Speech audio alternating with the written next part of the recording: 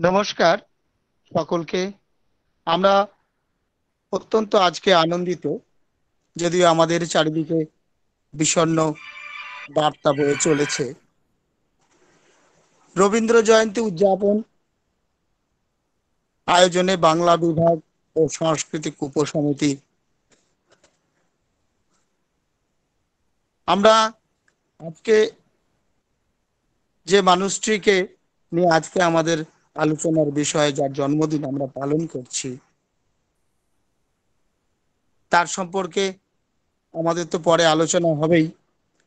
তবে আজকে অনুষ্ঠানের সভাপতি পদ অলঙ্কৃত করছেন আমাদের কলেজের অধ্যক্ষ মহাশয় মাননীয় doctor Krishnendu Dutta.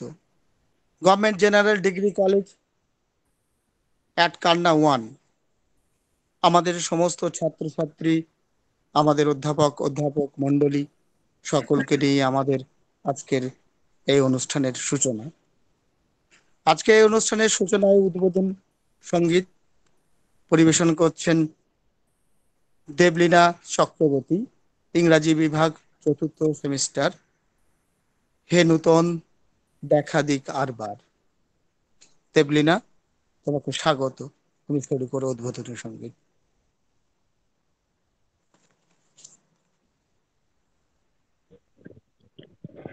নমস্কার, আমি দেবলীনা চক্রবর্তী ইংলিশ ডিপার্টমেন্টের ফোর্থ সেমিস্টারের স্টুডেন্ট আজকের দিনে গুরু রবীন্দ্রনাথ ঠাকুর পঁচিশে বৈশাখ জোড়াসাঁকো ঠাকুর পরিবারে জন্মগ্রহণ করেন। এখানে উপস্থিত আমার সমস্ত টিচার এবং আমার বন্ধুদেরকে ভালোবাসা এবং টিচারদের শ্রদ্ধা জানিয়ে এবং কবিগুরুর জন্মদিনের তিথি উপলক্ষে তাকে শ্রদ্ধা জানিয়ে আমি একটি গান পরিবেশনা করছি।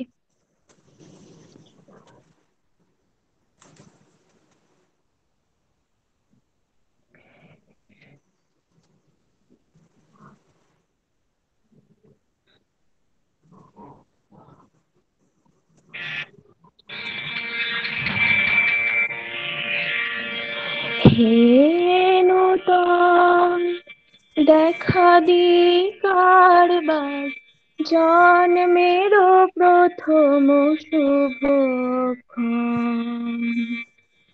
হে নূতন দেখা দি কারবার জন্মের প্রথম শুভক্ষণ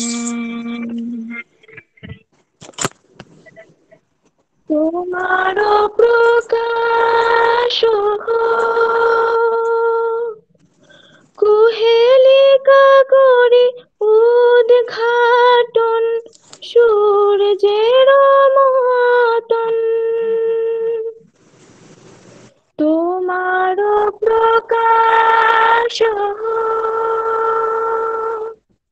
কুহেলিকা করি উদ্ঘাটন সূর্যের মতন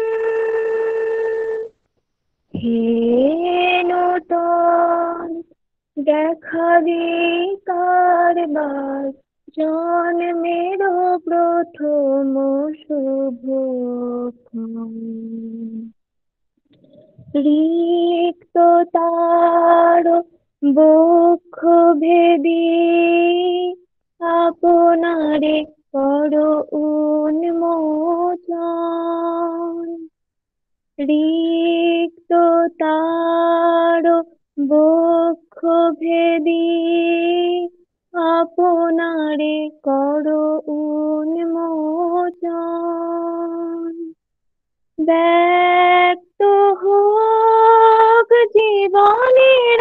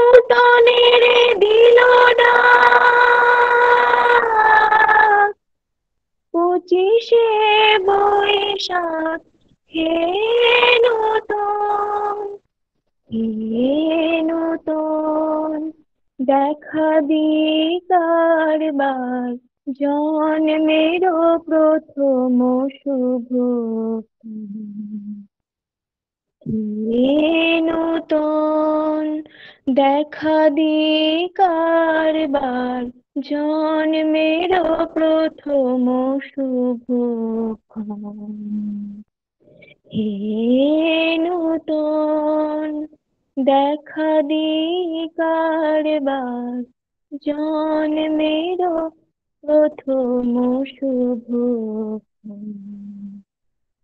থ্যাংক ইউ ধন্যবাদ আহ, দেবলীনাকে।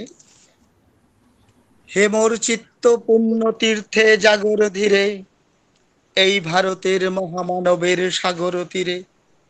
হেতায় দাঁড়ায় দু বাহু বাড়ায় নমিনর দেবতারে উদার ছন্দে, পরমানন্দে বন্দন করি তারে। আমরা বন্দনা করছি যার জন্ম ভারতবর্ষের সাহিত্য, দর্শন এবং শিক্ষার চিন্তাকে অন্য মাত্রায় নিয়ে গেছিল।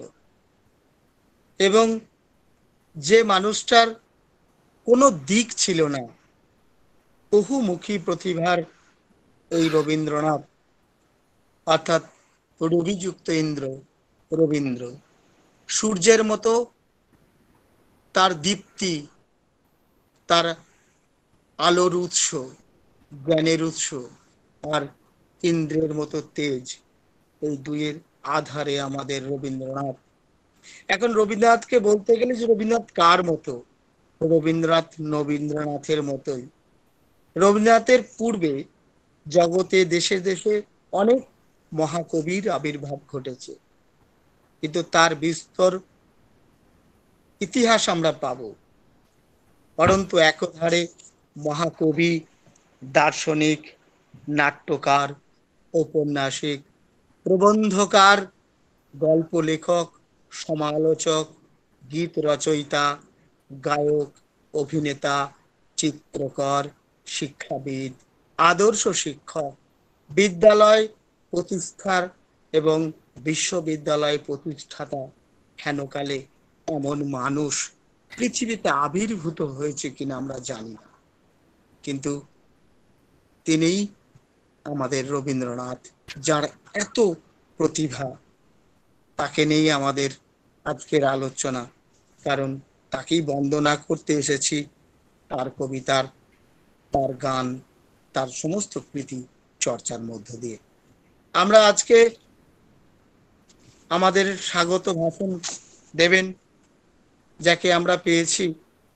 তিনি এসেই আমাদের এই মহাবিদ্যালয়কে অন্য এক মাত্রায় যোগ অন্য মাত্রা যোগ করেছেন আমাদের অধ্যক্ষ মহাশয় ডক্টর কৃষ্ণেন্দু দত্ত। তিনি অঙ্কের বিষয়ে অধ্যাপক, ঠিকই। কিন্তু সাহিত্য বিষয়ে তিনি এত সুগভীর আলোচনা করেন, এত পড়াশোনা করেন, আমরা জানি তাকে। সবকিছু বিষয়ে তার অগাধ পাণ্ডিত্য শুধু বিজ্ঞানের বা অঙ্কের হিসেবে নয়। তিনি একজন আদর্শ শিক্ষক, একজন আদর্শ আমাদের যেখানে সমস্ত মানুষকে, সমস্ত কলেজটাকে, যিনি নিজের মতো করে সমস্ত কিছু ব্যক্ত করতে চান ছাত্র, শিক্ষক সকলের মধ্যে, যাতে একটা পরিবার ঠিক যিনি কর্তা হিসেবে থাকেন, তিনি আমাদের সেই রূপে আছেন, তার কাছ থেকে শুনে নেব রবীন্দ্র বিষয়ের আজকের আলোচনার কিছু কথা। স্যার, আপনাকে স্বাগত। ধন্যবাদ। শুভ সন্ধ্যা। গভর্নমেন্ট জেনারেল ডিগ্রি কলেজ কালনাওয়ানের সকল শিক্ষক, শিক্ষাকর্মী এবং শিক্ষার্থীকে আমার আন্তরিক অভিনন্দন।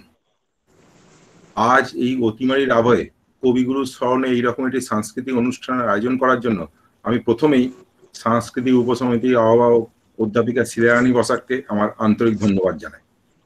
অভিনন্দন জানাই সমস্ত অধ্যাপক অধ্যাপিকাদের, যাদের অক্লান্ত পরিশ্রম ও নিষ্ঠার দ্বারা এই অনুষ্ঠান বাস্তবিক রূপ নিতে চলেছে। আন্তরিক অভিনন্দন জানাই ছাত্রছাত্রীদের। যাদের সক্রিয় অংশগ্রহণের কারণে এই অনুষ্ঠানটি সাফল্যমণ্ডিত হচ্ছে। আজ পঁচিশে বৈশাখ, বিশ্বকবি রবীন্দ্রনাথ ঠাকুরের একশো ষাটতম জন্মদিবসে তার প্রতি আমার সশ্রদ্ধ প্রণাম। আজ এই অতিমারির সময় কবিগুরুর একটি কবিতা খুব প্রাসঙ্গিক হয়ে উঠেছে। বিপদে মোরে রক্ষা করো, এই নয় মোর প্রার্থনা। বিপদে আমি যেন না করি ভয়। দুঃখ তাপে ব্যথিত শীতে নাই বা দিলে সান্ত্বনা। দুঃখে যেন করিতে পারি জয়। কবিগুরুর প্রতিভা নিয়ে কোনো কথা বলা আমার পক্ষে সাজে না। কারণ আমি সেই বলার উপযুক্ত নই। মহাকবি সম্পর্কে আমার মতো অযোগ্যের কিছু বলার জন্য তার ভাষা ব্যবহার করলেই সুসঙ্গত হবে বলে আমি মনে করি। একটি শিক্ষা প্রতিষ্ঠানে বলার জন্য আমরা তার একটি প্রাসঙ্গিক বক্তব্য তুলে ধরছি। আমাদের শিক্ষার মধ্যে এমন একটি সম্পদ থাকা চাই, যা কেবল আমাদের তথ্য দেয় না, সত্য দেয়। যা কেবল ইন্ধন দেয় না, অগ্নি দেয়। তথ্য ভারাক্রান্ত করে তোলাই শিক্ষার্থী সর্বস্ব এটা রবীন্দ্রনাথ ঠাকুর কখনোই মেনে নিতে পারেননি। তথ্যের মধ্য থেকে সত্যকে নিংড়ে নেওয়াটাই তার কাছে সবচাইতে গুরুত্বপূর্ণ ছিল। প্রথাগত শিক্ষার উপর কবির বিশ্বাস ছিল না। সেই কারণেই হয়তো তিনি বিশ্বভারতীর সৃষ্টি করেছিলেন। আসলে তার দৃষ্টিভঙ্গির মধ্যে ছিল মুক্তির বাণী।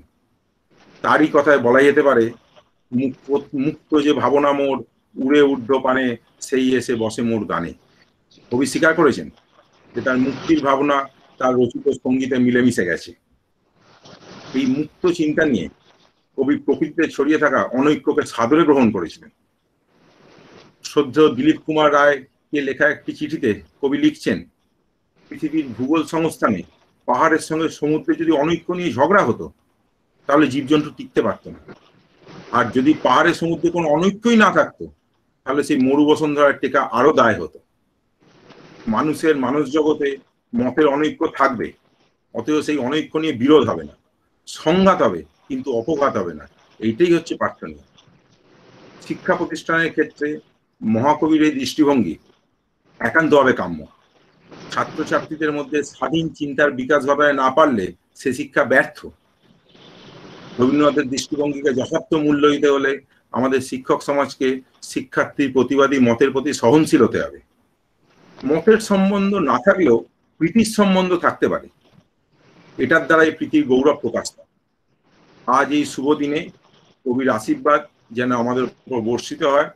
তার কবিতা, তার গান, তার প্রবন্ধবলী থেকে আমাদের এটুকু বোধ হয় যে জীবনের চরমতম সার্থকতা সমারোহ নয় তার আশীর্বাদে যেন আমাদের চিত্তশুদ্ধি হয়। প্রেম এবং দীনতা যেন আমাদের ঋদ্ধ করে, আমাদের স্বভাবকে সার্থক করে। এই বলে এই অনুষ্ঠানের সাফল্য কামনা করে আমি আমার বক্তব্য শেষ করলাম। ধন্যবাদ। ধন্যবাদ স্যারকে স্যার, বলেন যে আমাদের শান্তিনিকেতনের প্রতিষ্ঠা। সত্যি, ছাত্রছাত্রীদের তিনি কোনো গৃহের মধ্যে আবদ্ধ করতে চাননি। সেই জন্যই তিনি শান্তিনিকেতন প্রতিষ্ঠা করেছিলেন ওই অঞ্চলে আদিবাসী মানুষের শিক্ষাদানের জন্য। শুধু শিক্ষাদান কেন? সমস্ত কিছু। অর্থাৎ সমাজে সেখানে জল ধরো, জল ভরো, আমাদের যে আন্দোলন চলছিল কিছুদিন আগে, রবীন্দ্রনাথ তার পথকৃত আমাদের কৃষকদের যে দুরবস্থা, তিনি যখন জমিদারি দেখতে গেলেন বাংলাদেশে এবং সেখানে শিলাইদহে গিয়ে, তিনি যে কাব্যগুলো রচনা করলেন, তার যে উৎকর্ষ ফল, ফুলল, অর্থাৎ নোবেল পুরস্কার তিনি লাভ করলেন, তার সমস্ত টাকাটাই তিনি কৃষকদের উদ্দেশ্যে ব্যাংক করে দিলেন। আমাদের যেটাকে বলি এখনকার যে সমবায় ব্যবস্থা। কৃষকদের উন্নতি না করতে পারলে আমাদের সমাজের উন্নতি হবে না। আমরা খাদ্য পাবো কোথায়? রবীন্দ্রনাথ সেই চিন্তা করেছিলেন। তার ছেলেকে রথীন্দ্রনাথকে তিনি কবিতা কাব্য চর্চার জন্য বলেননি। তিনি পাঠিয়েছিলেন বিদেশে বিজ্ঞান চর্চার জন্য। এবং সেখানে তিনি ডিপ টুয়েলভ বা স্যালো রবীন্দ্রনাথের সন্তানের যোগ্য আবিষ্কারের জন্যই আজকে আমরা শ্যালো বা ডিপ টুয়েলভ পাচ্ছি কৃষকদের কাছে যে আজকে আশীর্বাদ হয়েছে, সেটাও রবীন্দ্রনাথের ফল।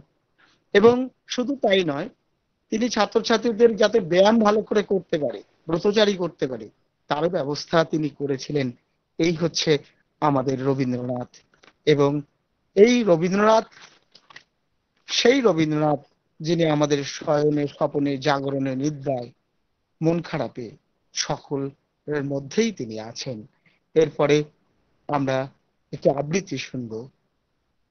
এই আবৃত্তি করতেন সুচি কবি, কবিতাটার নাম কেয়া মালিক। কেয়া মালিককে স্বাগত জানাচ্ছি বাংলা বিভাগ সিক্স এম নমস্কার স্যার, আমি কেয়া মালিক। বাংলা বিভাগের তৃতীয় বর্ষের ছাত্রী।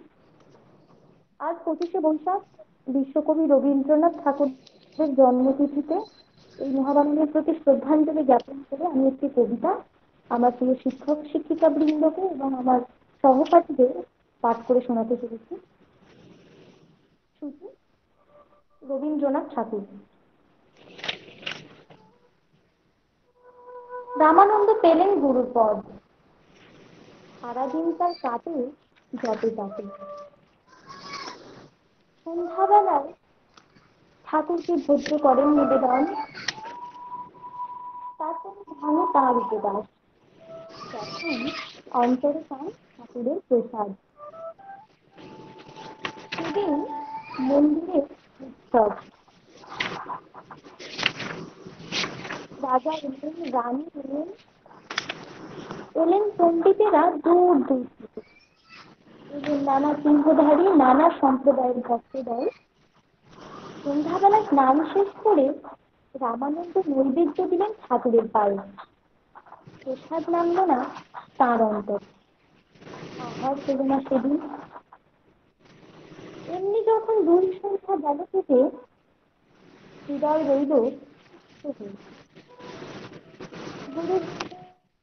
মাটিতে শুকিয়ে মাথা ঠাকুর, কি অপরাধ করেছি? ঠাকুর বললেন, আমার বাস কি কেবল বৈকুণ্ঠে। সেদিন আমার মন্দিরে যারা প্রবেশ পায়নি, আমার স্পর্শ যে তাদের সর্বাঙ্গে। আমারই পাদদর নিয়ে প্রাণ বাহিনী বইছে তাদের শিরায়। তাদের অপমান আমাকে বেঁধেছে। আজ তোমার হাতের নৈবেদ্য অসুচি। লোকস্থিতি রক্ষা করতে যে হবে প্রভু। বলে গুরু চেয়ে রইলেন ঠাকুরের মুখের দিকে। ঠাকুরের চক্ষুদীপ্ত হয়ে বললেন, যে লোক সৃষ্টি স্বয়ং আমার, যার প্রাঙ্গণে সকল মানুষের নিমন্ত্রণ, তার মধ্যে তোমার লোকস্থিতির বেড়া তুলে আমার অধিকারের সীমা দিতে চাও এত বড় স্পর্ধা? রামানন্দ বললেন, প্রভাতেই যাব এই সীমা ছেড়ে। দেব আমার অহংকার দূর করে তোমার বিশ্বলোকে তখন রাত্রি তিন প্রহর। আকাশের তারাগুলি যেন ধ্যানমগ্ন গুরুর নিদ্রা ভেঙে গেল। শুনতে পেলেন, সময় হয়েছে। ওঠো, প্রতিজ্ঞা পালন করো। রামানন্দ হাত জড়ো করে বললেন, এখনও রাত্রি গভীর, পথ অন্ধকার, পাখিরা নীরব। প্রভাতের অপেক্ষায় আছি। ঠাকুর বললেন, প্রভাত কি কেবল রাত্রির অবসানে? যখনই চিত্ত জেগেছে, শুনেছ বাণী, তখনই এসেছে প্রভাত। যাও তোমার ব্রত পালনে। রামানন্দ বাহির হলেন, পথে একাকী, মাথার উপরে জাগে ধ্রুব তারা। পার হয়ে গেলেন নগর, পার হয়ে গেলেন গ্রাম। নদী তীরে শ্মশান চন্ডাল সব দাহে ব্যতীত।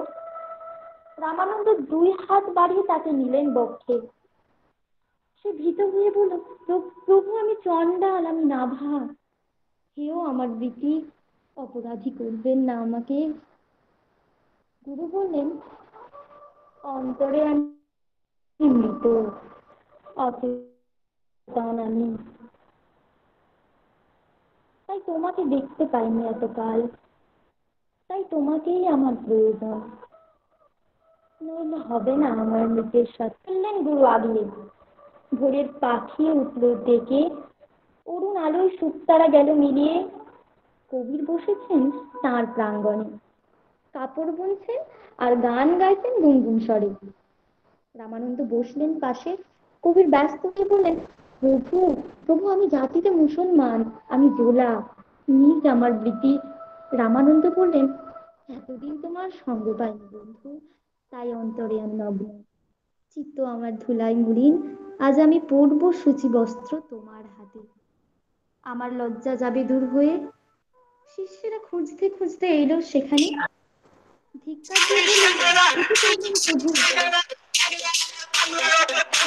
বললেন, আমার ঠাকুরকে এতদিন যেখানে হারিয়েছিলুম, আজ তাকে সেখানেই পেয়েছি খুঁজে। সূর্য উঠল আকাশে আলো এসে পড়ল গুরুর আনন্দিত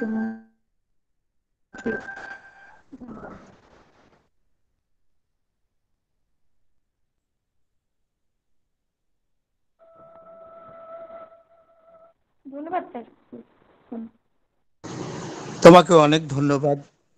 খুব সুন্দর আমাদের হৃদয় স্পর্শ করল। আসলে কথা বলতেই হয়, আর্য কবিরা লিখেছেন দেবস্তুতি।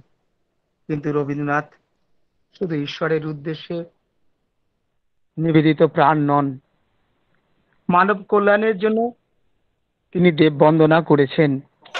রবীন্দ্রনাথ ভালো করে দেখলেন, ভারতীয় জনপদে বহু মানুষের বহু সাধনার ধারা। বললেন, ধর্ম নয়, ভাষা নয়, জাত নয়, শাসক শাসিত নয়। সম্রাট জমিদার প্রজা নয়, কৌলিন্য নয়, কেবল নিরঞ্জন, মনুষ্যত্ব আমাদের উত্তরাধিকার। সেখানেই আমাদের মহামানবত্বের ঠিকানা, মুক্তির সাধনা ছিল তার আমৃত্যু। আমারে করিল অতিক্রম এমর ক্ষুদ্র দেহখানি। অতএব আমাদের যে ঈশ্বর চিন্তা অনেকেরই সেই সঙ্গে রবীন্দ্রনাথের ঈশ্বর চিন্তা এক অন্য মাত্রায় আমাদের নিয়ে যায়, যেখানে মানবত্ব বা মানবতাই আসল কথা। এরপরে আমরা একটি সংগীত শুনব। সংগীত পরিবেশন করছে অনুশ্রী হাজরা, বাংলা বিভাগ সিক্স এম ওরে গৃহবাসী খোলদার খোল। স্বাগত। জানাচ্ছি অনুশ্রী হাজরাকে।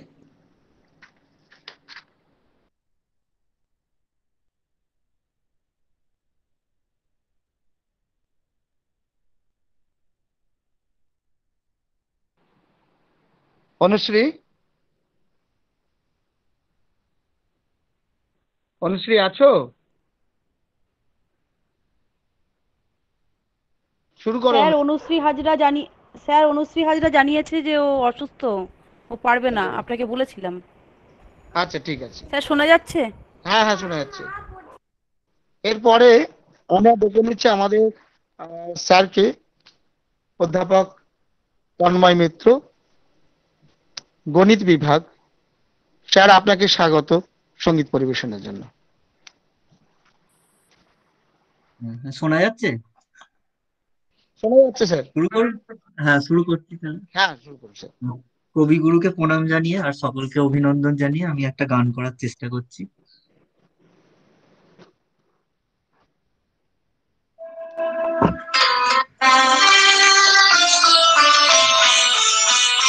তুমি কেমন করে গান করো হে গুণী? আমি অবাক হয়ে শুনি কেবল শুনি তুমি কেমন করে গান করো হে গুণী আমি অবাক হয়ে শুনি কেবল শুনি তুমি কেমন করে গান করো হে গুণী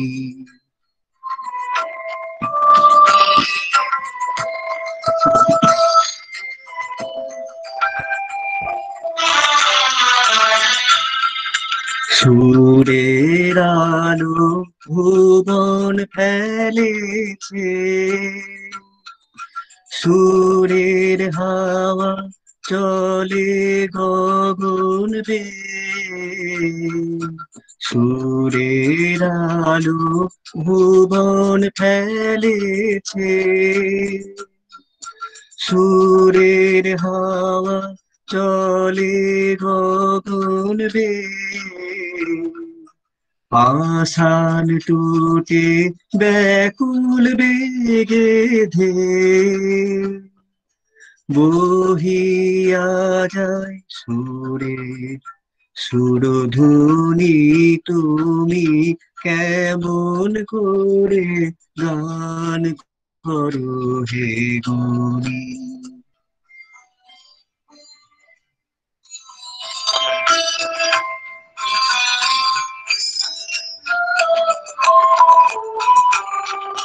মনে করি ওমনি সুরে গাই। কণ্ঠে আমার সুর খুঁজে না পাই। মনে করি ওমনি সুরে কণ্ঠে আমার সুর খুঁজে না পাই।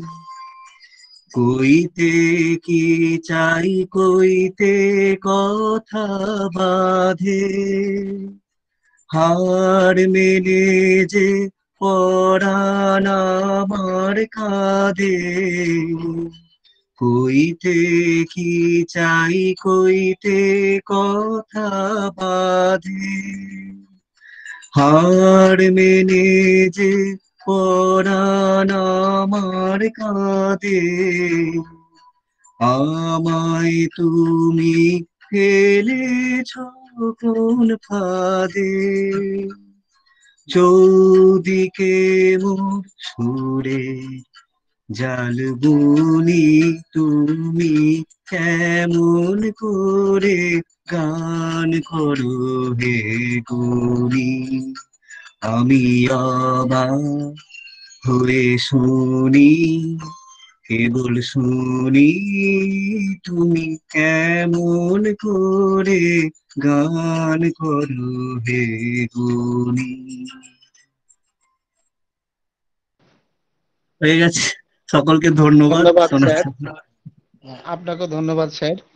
সত্যি গুণীরা বোধ হয় এইভাবেই গান করে তার সৃষ্টিকে আমাদের মধ্যে ছড়িয়ে দেয়। আমরা তা শ্রবণে এবং দর্শনে ধন্য হই। ধন্য হই কবির জন্য, ধন্য হই শিল্পীর জন্য। এরপরে আমরা একটি আবৃত্তি শুনব। কৃপন, ঈশিতা ঘোষ, বাংলা বিভাগ সিক্স এম ঈশিতা ঘোষ, তোমাকে স্বাগত। হ্যাঁ কবিগুরু রবীন্দ্রনাথ আমার স্মরণ নিয়ে আমার সমস্ত শ্রদ্ধেয় শিক্ষক, শিক্ষিকাকে আমার প্রণাম জানিয়ে আমি রবীন্দ্রনাথ ঠাকুরের লেখা কৃপণ কবিতাটি পাঠ করে শোনানোর চেষ্টা করছি। আমি ভিক্ষা করে ফিরিতেছিলেম গ্রামের পথে পথে। তুমি তখন চলেছিলে তোমার স্বর্ণরথে।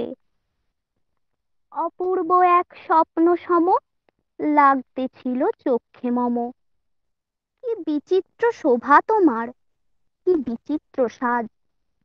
আমি মনে ভাবতেছিলেম, এ কোন মহারাজ? আজি শুভক্ষণে রাত পোহালো। ভেবেছিলেম তবে, আজ আমারে দাঁড়ে দাঁড়ে ফিরতে নাহি হবে। বাহির হতে নাহি হতে কাহার দেখা পেলেম পথে। চলিতে রথ ধন ধান্য ছড়াবে দুই ধারে। মুঠা মুঠা কুড়িয়ে নেব নেব ভারে ভারে দেখি সহসা রথ থেমে গেল আমার কাছে এসে। আমার মুখপানে চেয়ে নামলে তুমি হেসে। দেখে মুখের প্রসন্নতা জুড়িয়ে গেল সকল ব্যথা।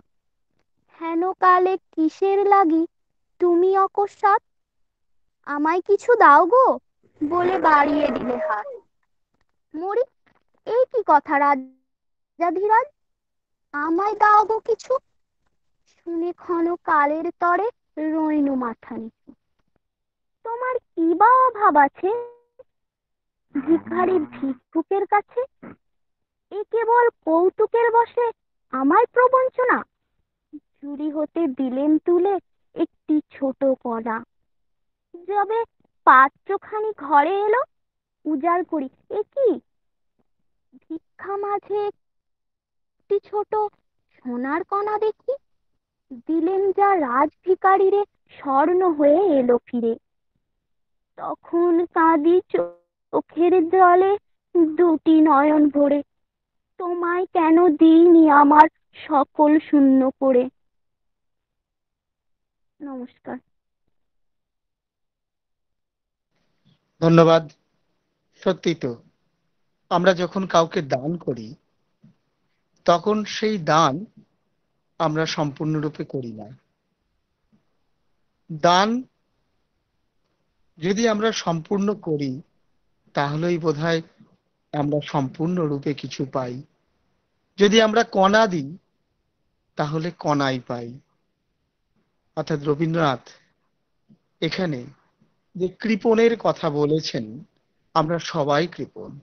আজকে দেখতে পাচ্ছি যখন মানুষ মারা যাচ্ছে এই মহামারীতে, একদল মানুষ খাদ্য সামগ্রী, একদল মানুষ ওষুধ, একদল মানুষ অক্সিজেন সিলিন্ডার বিনা প্রয়োজনে তার বাড়িতে মজুত করে রয়েছে, যার প্রয়োজন সে পাচ্ছে না। এই অবস্থায় রবীন্দ্রনাথ স্মরণ বোধহয় আমাদের খুব প্রয়োজন সমাজের ক্ষেত্রে এবং ব্যক্তিগত জীবনের ক্ষেত্রে। আরেকটি তথ্য দিয়ে রাখা ভালো, আজকে মাতৃ দিবস আমরা সমস্ত মাতাদের শ্রদ্ধা নিবেদন করছি। আমরা সমস্ত মাতৃ জাতিকে প্রণাম প্রণাম জানাচ্ছি। যেখানে কবি এক জায়গায় বলছেন, যখন দেখিয়াছি মা আপনার সন্তানের জন্য আনন্দ অবধি পায় না, সমস্ত হৃদয়খানি মুহূর্তে মুহূর্তে ভাজে ভাজে খুলিয়া ওই ক্ষুদ্র মানব অঙ্কুরটিকে সম্পূর্ণ বেষ্টন করিয়া শেষ করিতে পারে না, তখন আপনার সন্তানের মধ্যে আপনার ঈশ্বরকে উপাসনা করিয়াছে। অতএব এই যে বাৎসল্যের কথা আমরা বলি, সন্তানদের মধ্যেই মা তার ঈশ্বরকে খুঁজে পায় এবং সন্তানের জন্য মা মৃত্যু পর্যন্ত বরণ করতে পারেন। আজকে সেই জায়গাটাও আমাদের ভাববার জায়গায় এসেছে। আমরা মাতৃজাতিকে সম্মান দিই। এরপরে বক্তব্য রাখছে জেসমিন খাতুন বাংলা বিভাগ চতুর্থ সেমিস্টার। জেসমিন খাতুনকে স্বাগত জানাচ্ছি বক্তব্য রাখার জন্য। আশরাফ স্যার আপনি একটা ঘোষণা করে দেবেন যে যখন উপস্থাপন করবেন হ্যাঁ। সে যেন ক্যামেরা অন করে করে না হলে প্রোগ্রামের যে মানে উজ্জ্বলতা সেটা একটু হানি ঘটছে। বুঝলেন? এটা প্রিন্সিপাল স্যারের অনুরোধ। আচ্ছা ঠিক আছে ঠিক আছে। আমিও করে নিলাম। জেসমিন? জেসমিন আছো? জেসমিন? হ্যাঁ স্যার। হ্যাঁ তোমাকে স্বাগত। তুমি শুরু করো। নমস্কার। এখানে উপস্থিত সম্মানীয় আমি একটু শ্রদ্ধেয় শিক্ষক শিক্ষিকা ও আমার জেসমিন তুমি হ্যাঁ, তোমার ক্যামেরাটা অন করো। ক্যামেরাটা অন করো অডিও এবং ভিডিও অন করে তারপর বলো।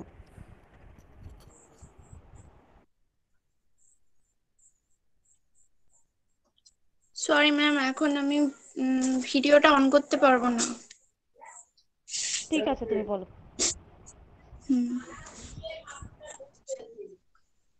নমস্কার।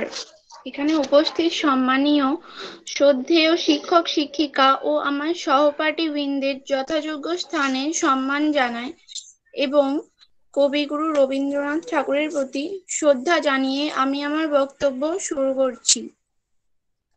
রবীন্দ্রনাথ ঠাকুরের একশো ষাটতম জন্মবার্ষিকী আজ পঁচিশে বৈশাখ। কলকাতার বিখ্যাত জোড়াসাঁকো ঠাকুর পরিবারে জন্মগ্রহণ করেন তিনি। মহর্ষি দেবেন্দ্রনাথ ঠাকুর ও সারদা দেবী দম্পতির চতুর্দশ সন্তান ছিলেন তিনি।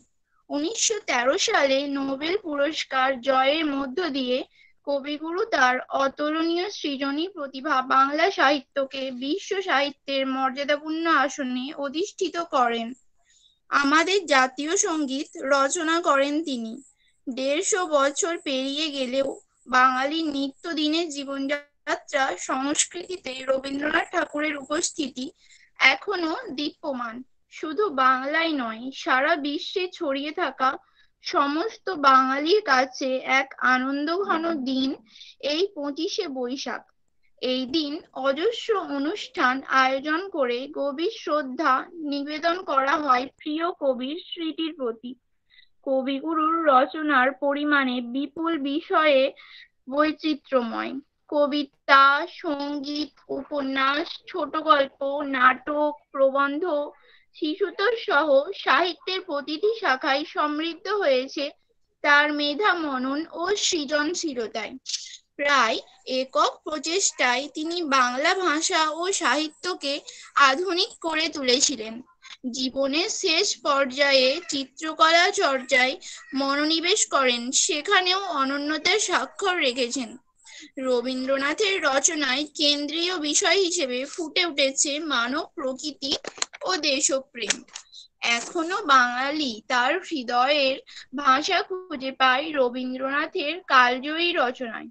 বাংলা সাহিত্যের প্রাণপুরুষ ও জনকল্যাণমূলক কাজেও রেখে গিয়েছেন বিশেষ ভূমিকা। শিক্ষা বিস্তার কৃষি ও কৃষকের উন্নয়ন সহ তার জনকল্যাণমূলক কাজগুলোও এক অনুসরণীয় দৃষ্টান্ত হয়ে আসে। কবিগুরু গীতাঞ্জলি রচনা করে উনিশশো তেরোতে নিয়ে আসেন নোবেল পুরস্কার। নোবেল পুরস্কারের অর্থ দিয়ে শাহজাদপুরে দরিদ্র কৃষকদের ঋণ দেওয়ার লক্ষ্যে প্রতিষ্ঠা করেন কৃষি ব্যাংক। গড়ে তোলেন শান্তিনিকেতন বোলপুরে। রাজপথে নেমে আসেন বঙ্গভঙ্গ প্রতিবাদে। পাঞ্জাবের জালিয়ানওয়ালাবাগের হত্যাকাণ্ডের প্রতিবাদে ছুড়ে ফেলেন ব্রিটিশ সরকারের দেওয়া নাইটহুড উপাধি। উনিশশো আঠেরো সালে চোদ্দই জুলাই বর্ষা উৎসব দিনে বৃক্ষরোপণ উৎসব পালন করেছিলেন। তিনি লিখেছিলেন, মরু বিজয়ের কেতন ছড়াও শূন্যে, হে প্রবল প্রাণ, ধুলিরে ধন্য করো করুণায়, হে কোমল প্রাণ। বাংলা সাহিত্যে তিনি ছিলেন একটি মালা। এমন এক মালা তিনি গেঁথে গিয়েছেন যা যুগ যুগ ধরে বাঙালিকে একাধারে বিমুক্ত ও বিস্মিত করে রেখেছে। শান্তিনিকেতনে কবির শেষ জন্মদিন ও অনন্ত আড়ম্বরপূর্ণভাবে পালিত হয়। শান্তিনিকেতনের উদাহরণে বসে জীবনের শেষ জন্মদিন উপলক্ষে কবি লিখেছিলেন কয়েকটি লাইন, যা ছিল দার্শনিক কবির জীবন চর্চার নির্যাস। আমার জন্মদিন মাঝে আমি হারা, আমি চাহি বন্ধুজন যারা। তাহাদের হাতের পরশে মর্তের অন্তিম প্রীতিরসে নিয়ে যাব জীবনের চরম প্রসাদ, নিয়ে যাব মানবের শেষ আশীর্বাদ। ধন্যবাদ। ধন্যবাদ তোমাকেও। রবীন্দ্রনাথের জীবন চর্চা আলোকপাত করলে তুমি। এরপরে আমরা একটি যন্ত্র সংগীত শুনব, যেখানে রবীন্দ্রনাথ বলছেন, গান হলো আধ্যাত্মিক অনুভূতির প্রকাশের সঠিক মাধ্যম। স্রষ্টার একনিষ্ঠ সেবক হতে চাইলেন। করব তোমার সেবা, দাও সে পরম শক্তি। রবীন্দ্রনাথের বেশিরভাগ গানে সেই অনুভূতির প্রকাশ। আমি গানের অনুপ্রেরণা পেয়েছি আমার ভিতর থেকে।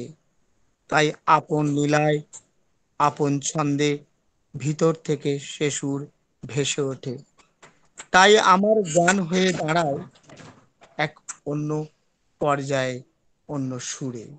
আর তাই আমরা শুধু কণ্ঠস্বর শুনেই আমাদের চিত্ত শ্রবণ যন্ত্র মুগ্ধ হয় না। যন্ত্র সঙ্গীতও আমাদের চিত্তকে আমাদের কর্ণকে প্রশমিত করে। সুদীপ্ত মালিক সুদীপ্ত মালিককে আহ্বান জানাচ্ছি শিক্ষা বিভাগ শিখছেন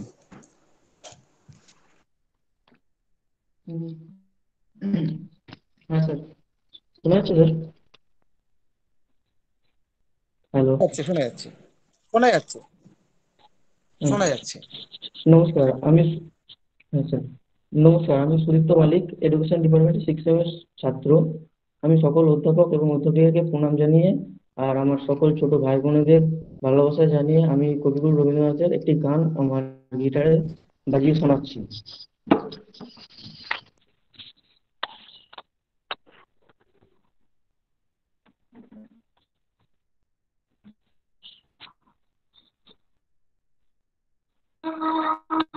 Thank you.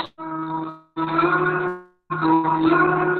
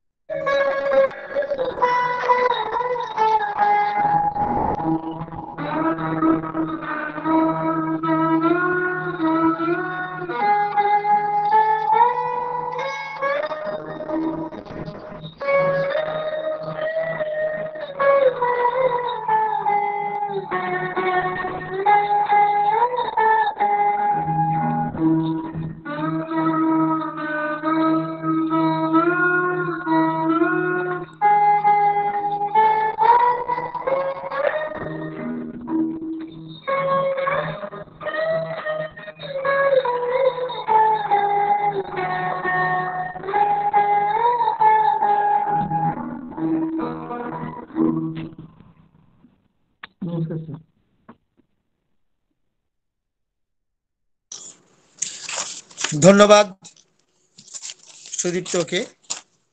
সত্যি তো যে আলো আমাদের মধ্যে সে সুরের মূর্ছনায় জেলে দিল। সে আগুন কাঠের আগুন নয়, কয়লার আগুন নয়, এ আগুন জ্বলছে আমাদের প্রত্যেকের দেহে মনে, প্রাণে, ইচ্ছায়, সংকল্পে আকতিতে অভিপ্সায়, শিরায় শিরায় ধমনীতে। এ আগুন হলো আমাদের প্রত্যেকের আত্মচেতনা। যা পেয়েছি, দেবতার দান রূপে জন্ম মুহূর্তে সেই আলোকে নিয়ে আমরা পথ চলেছি এবং পথ চলতে চাই। এরপরে আমরা একটি আবৃত্তি শুনব। ধর্মমোহ, সুদীপ সেন। সুদীপা দত্ত, তোমাকে স্বাগত।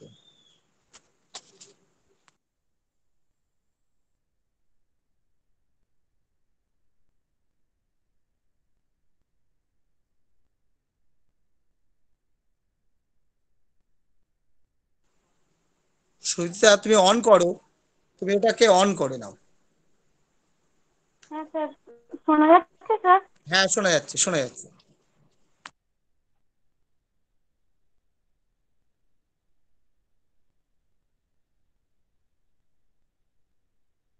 স্যার শোনা যাচ্ছে? হ্যাঁ হ্যাঁ শোনা যাচ্ছে শুরু করে।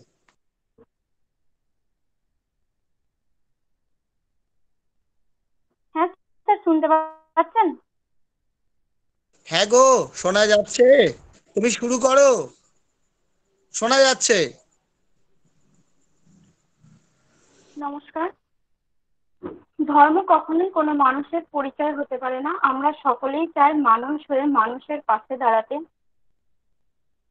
যুগ যুগ শত বছর ধরে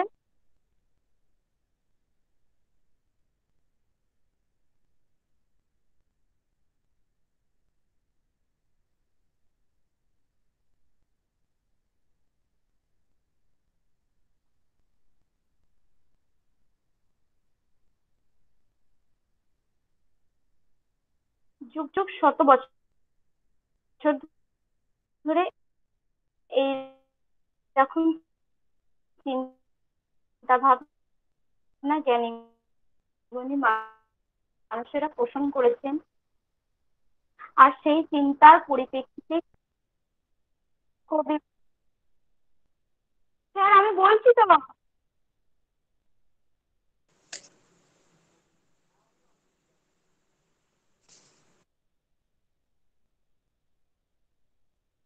স্যার আমি বলছি তো।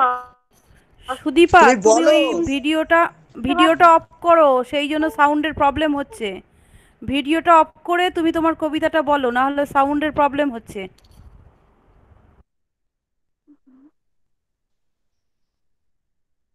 স্যার আমি বলছি শুনতে পাচ্ছেন? তুমি বলো অসুবিধে নেই তুমি বলো। তুমি বলে যাও না এত বলছো বলছিলাম। হ্যাঁ বলো।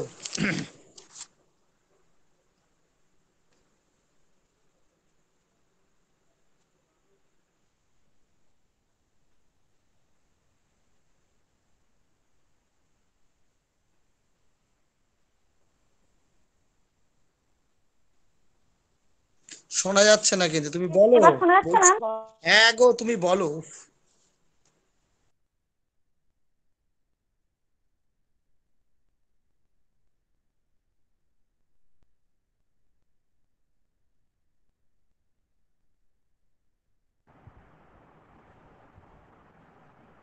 সুদীপা কিছু শোনা যাচ্ছে না। তুমি ভিডিওটা বন্ধ করো। ভিডিওটার জন্য নেটের প্রবলেম হচ্ছে কথা শোনা যাচ্ছে না।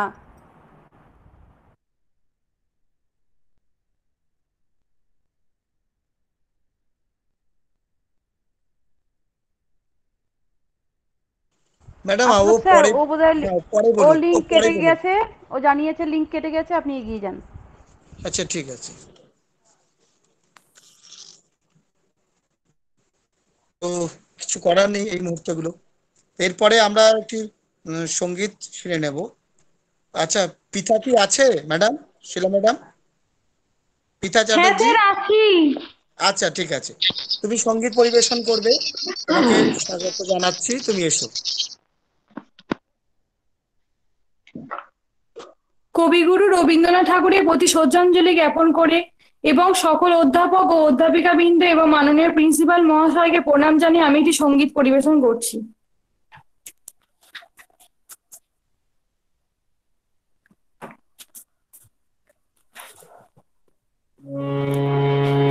প্রাণ ভরিয়ে তৃষা আরও আরও আরও। দাও প্রাণ প্রাণ ভরি তৃষা ভরি মরি আরও আরও আরও দাও প্রাণ তব ভুবনী, তব ভবনে মোরে আরও আরও আরও দাও স্থান। মোরে আরও আরও আরও দাও প্রাণ। প্রাণ ভরিয়ে তৃষা হরিয়ে মোরে আরও আরও আরও দাও প্রাণ।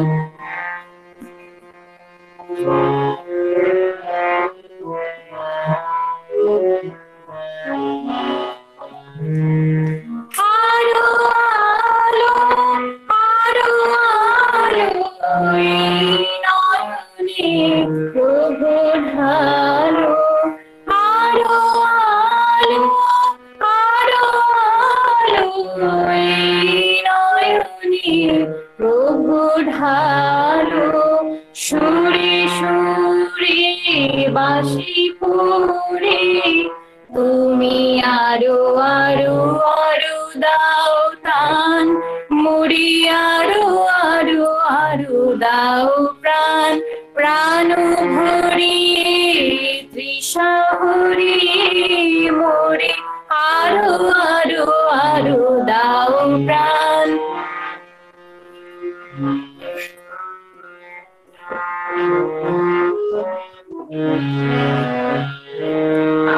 আরও বেদনা আরও বেদনা প্রভু দাও মোরে আরও চেতনা দারু ছুটাই মাথা টুটাই, মোরে করু ত্রাণ, মোরে করু ত্রাণ আরও বেদনা আরও বেদনা প্রভু দাও মোরে আরও চেতনা দারু ছুটাই বাধা টুটাই মোরে করু ত্রাণ, মোরে করু ত্রাণ।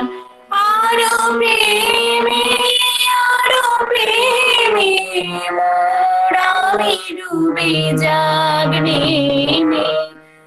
আরও প্রেমে আরও প্রেমে মোরামি ডুবে যাক নেমে সুধাধারে আপনারে তুমি আরও আরও আরও দাও দান মোরে আরও আরও আরও দাও প্রাণ প্রাণ ভরি হরি মোরে আরও আরও আরও।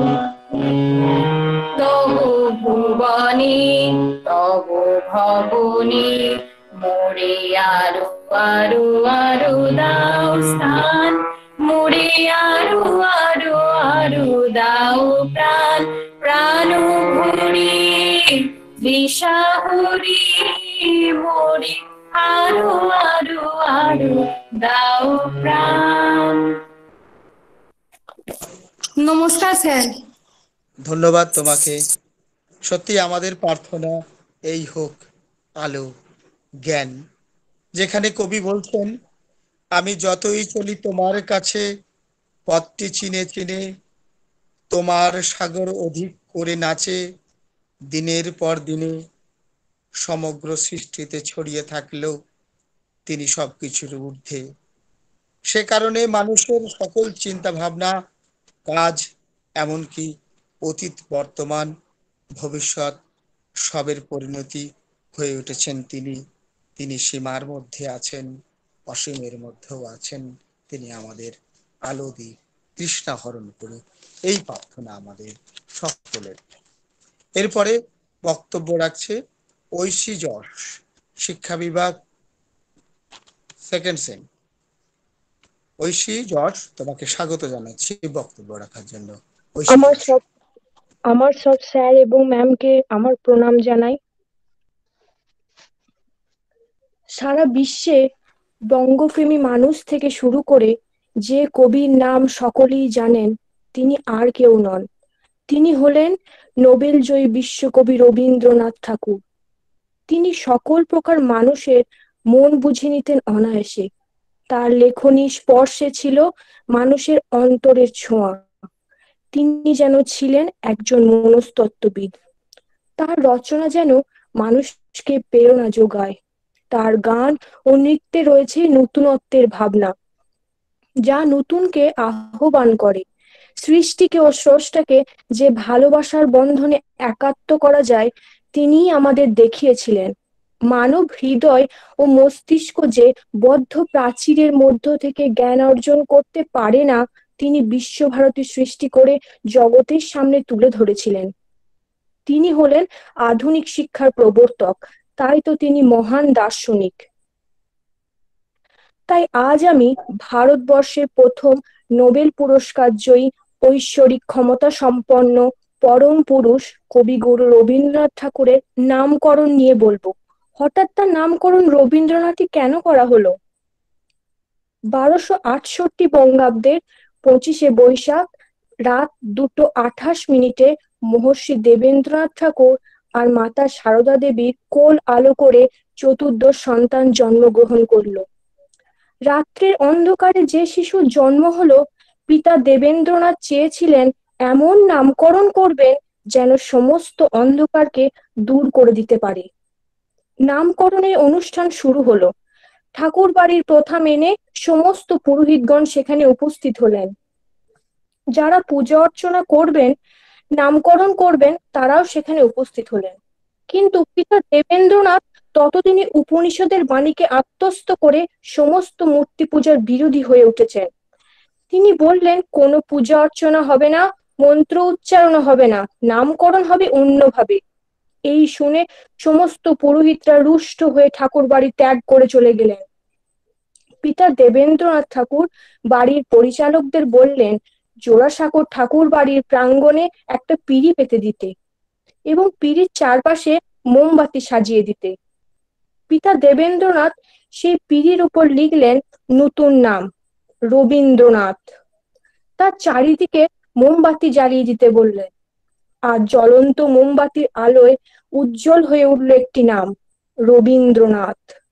দেবেন্দ্রনাথ মনে মনে বললেন, সূর্যের সূর্য।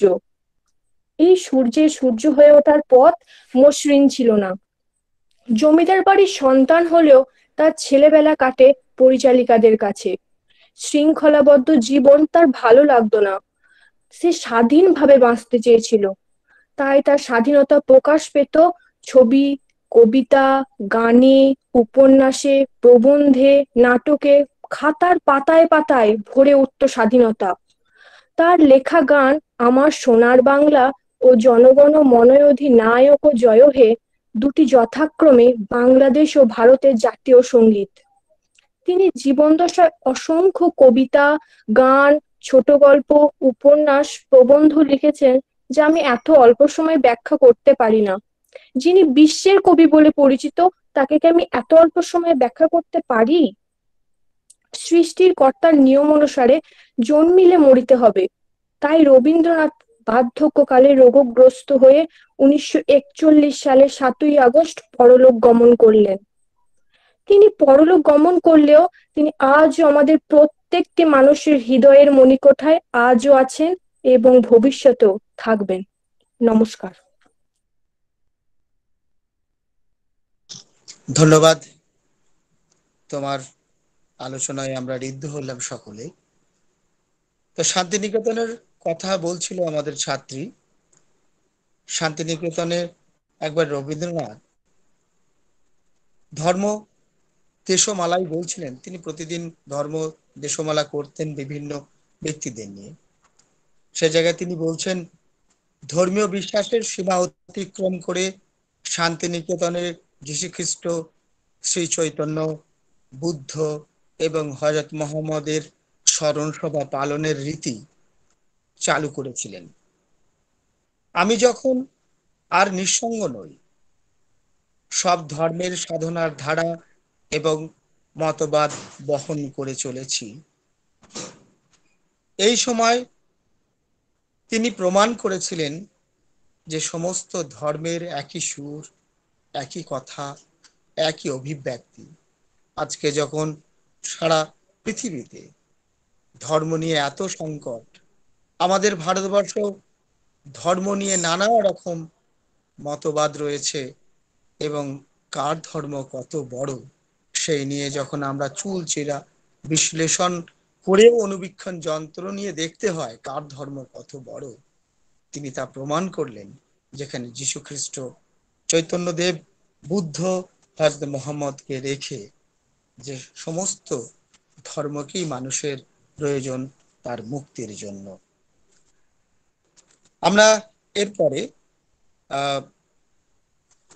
একটি আবৃত্তি শুনব অপমানিত আপ্রজা খাতুন বাংলা বিভাগ সিক্সেন আপ্রজা তোমাকে হ্যাঁ স্বাগত জানাচ্ছি। হ্যাঁ স্যার বল নমস্কার। আজ পঁচিশে বৈশাখ। কবিগুরু রবীন্দ্রনাথ ঠাকুরের জন্মদিন। কবিগুরু রবীন্দ্রনাথ ঠাকুরকে আমার প্রণাম। আমার সকলে শিক্ষক, শিক্ষিকাদের শিক্ষিকাদের আমার প্রণাম। এবং আমার ভাই বোনেদের আমার আন্তরিক ভালোবাসা জানিয়ে আজ রবীন্দ্রনাথ ঠাকুরের একটি কবিতা আমি আবৃত্তি করে শোনাচ্ছি। আবৃত্তি। রবীন্দ্র অপমানিত রবীন্দ্রনাথ ঠাকুর। হেমোর দুর্ভাগা দেশ যাদের করেছ অপমান, অপমানে হতে হবে তাহাদের সবার সমান। মানুষের অধিকারে বঞ্চিত করেছ জানি সম্মুখে দাঁড়ায়ে রেখে তবু কোলে দাও না স্থান। অপমানে হতে হবে তাহাদের সবার সমান। মানুষের পরশেরে প্রতিদিন ঠেকাইয়া দূরে। ঘৃণা করিয়াছে তুমি মানুষের প্রাণের ঠাকুরে। বিধাতার রুদ্র রোষে দুর্ভিক্ষের দ্বারে বসে ভাগ করে খেতে হবে। সকলের সাথে অন্নপান অপমানে হতে হবে, তাহাদের সবার সমান। তোমার আসন হতে যেথায় তাদের দিলে ঠেলে,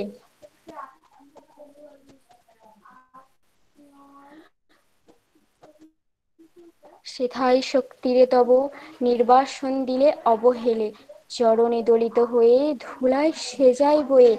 সেই নিম্নে নেমে এসো, নহিলে নাহিলে পরিত্রাণ। অপমানে হতে হবে, আজি তোরে সবার সমান। যারে তুমি নিচে ফেলো, সে তোমারে বাঁধিবে যে নিচে। পশ্চাতে রেখেছো যারে, সে তোমারে পশ্চাতে টানিছে। অজ্ঞানের অন্ধকারে আড়ালে ঢাকিছ যারে, তোমার মঙ্গলে ঢাকি গড়িছে সে ঘোর ব্যবধান। অপমানে হতে হবে তাহাদের সবার সমান।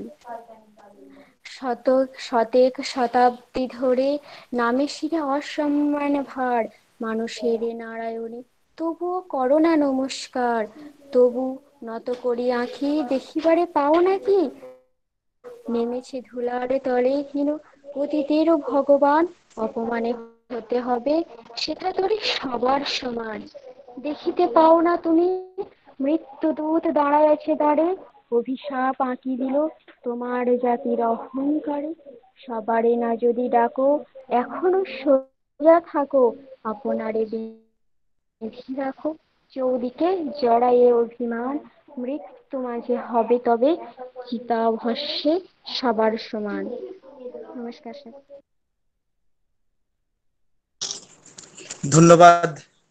সত্যি, রবীন্দ্রনাথ এক জায়গায় বলছেন, এই সম্পর্কে মহৎ থেকে প্রতি পদে নিন্দার কাটা পার হইতে হয়। আমরা যারা মহৎ হতে চাই, তারা প্রতি পদে নিন্দিত হয় সমাজের কাছে এবং রবীন্দ্রনাথ তার ব্যতিক্রম নয়।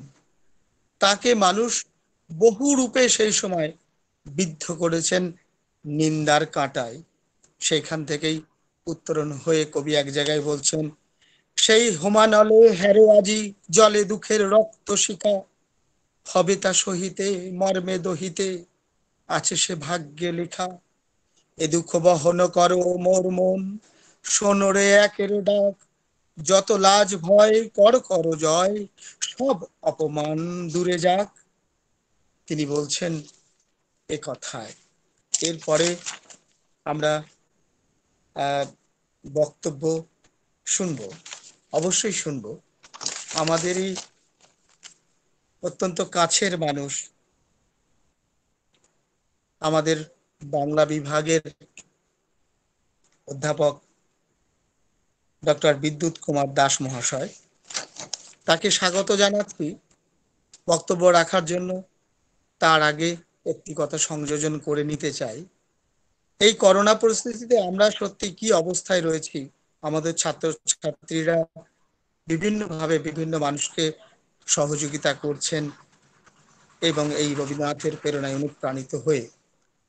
রবীন্দ্রনাথ এক জায়গায় বলছেন, চোখের বালি উপন্যাসে, চিকিৎসা করিয়া রোগ সারানোর চেয়ে রোগ না হইতে দেওয়াটাই ভালো।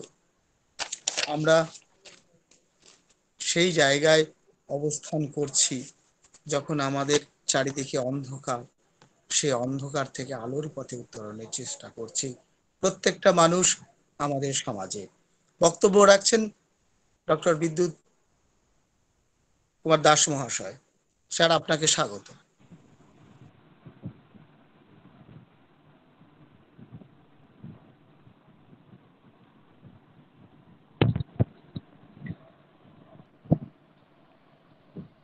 আমি প্রথমে রবীন্দ্রনাথকে আমার অন্তরের শ্রদ্ধা এবং প্রণাম জানাই। স্যার ক্যামেরাটা একটু ঠিক করে নিন স্যার। আপনার কপালটা দেখা যাচ্ছে মুখটা পুরো দেখা যাচ্ছে না। স্যার একটু হ্যাঁ একটু হ্যাঁ স্যার ঠিক আছে ঠিক আছে। থ্যাংক ইউ স্যার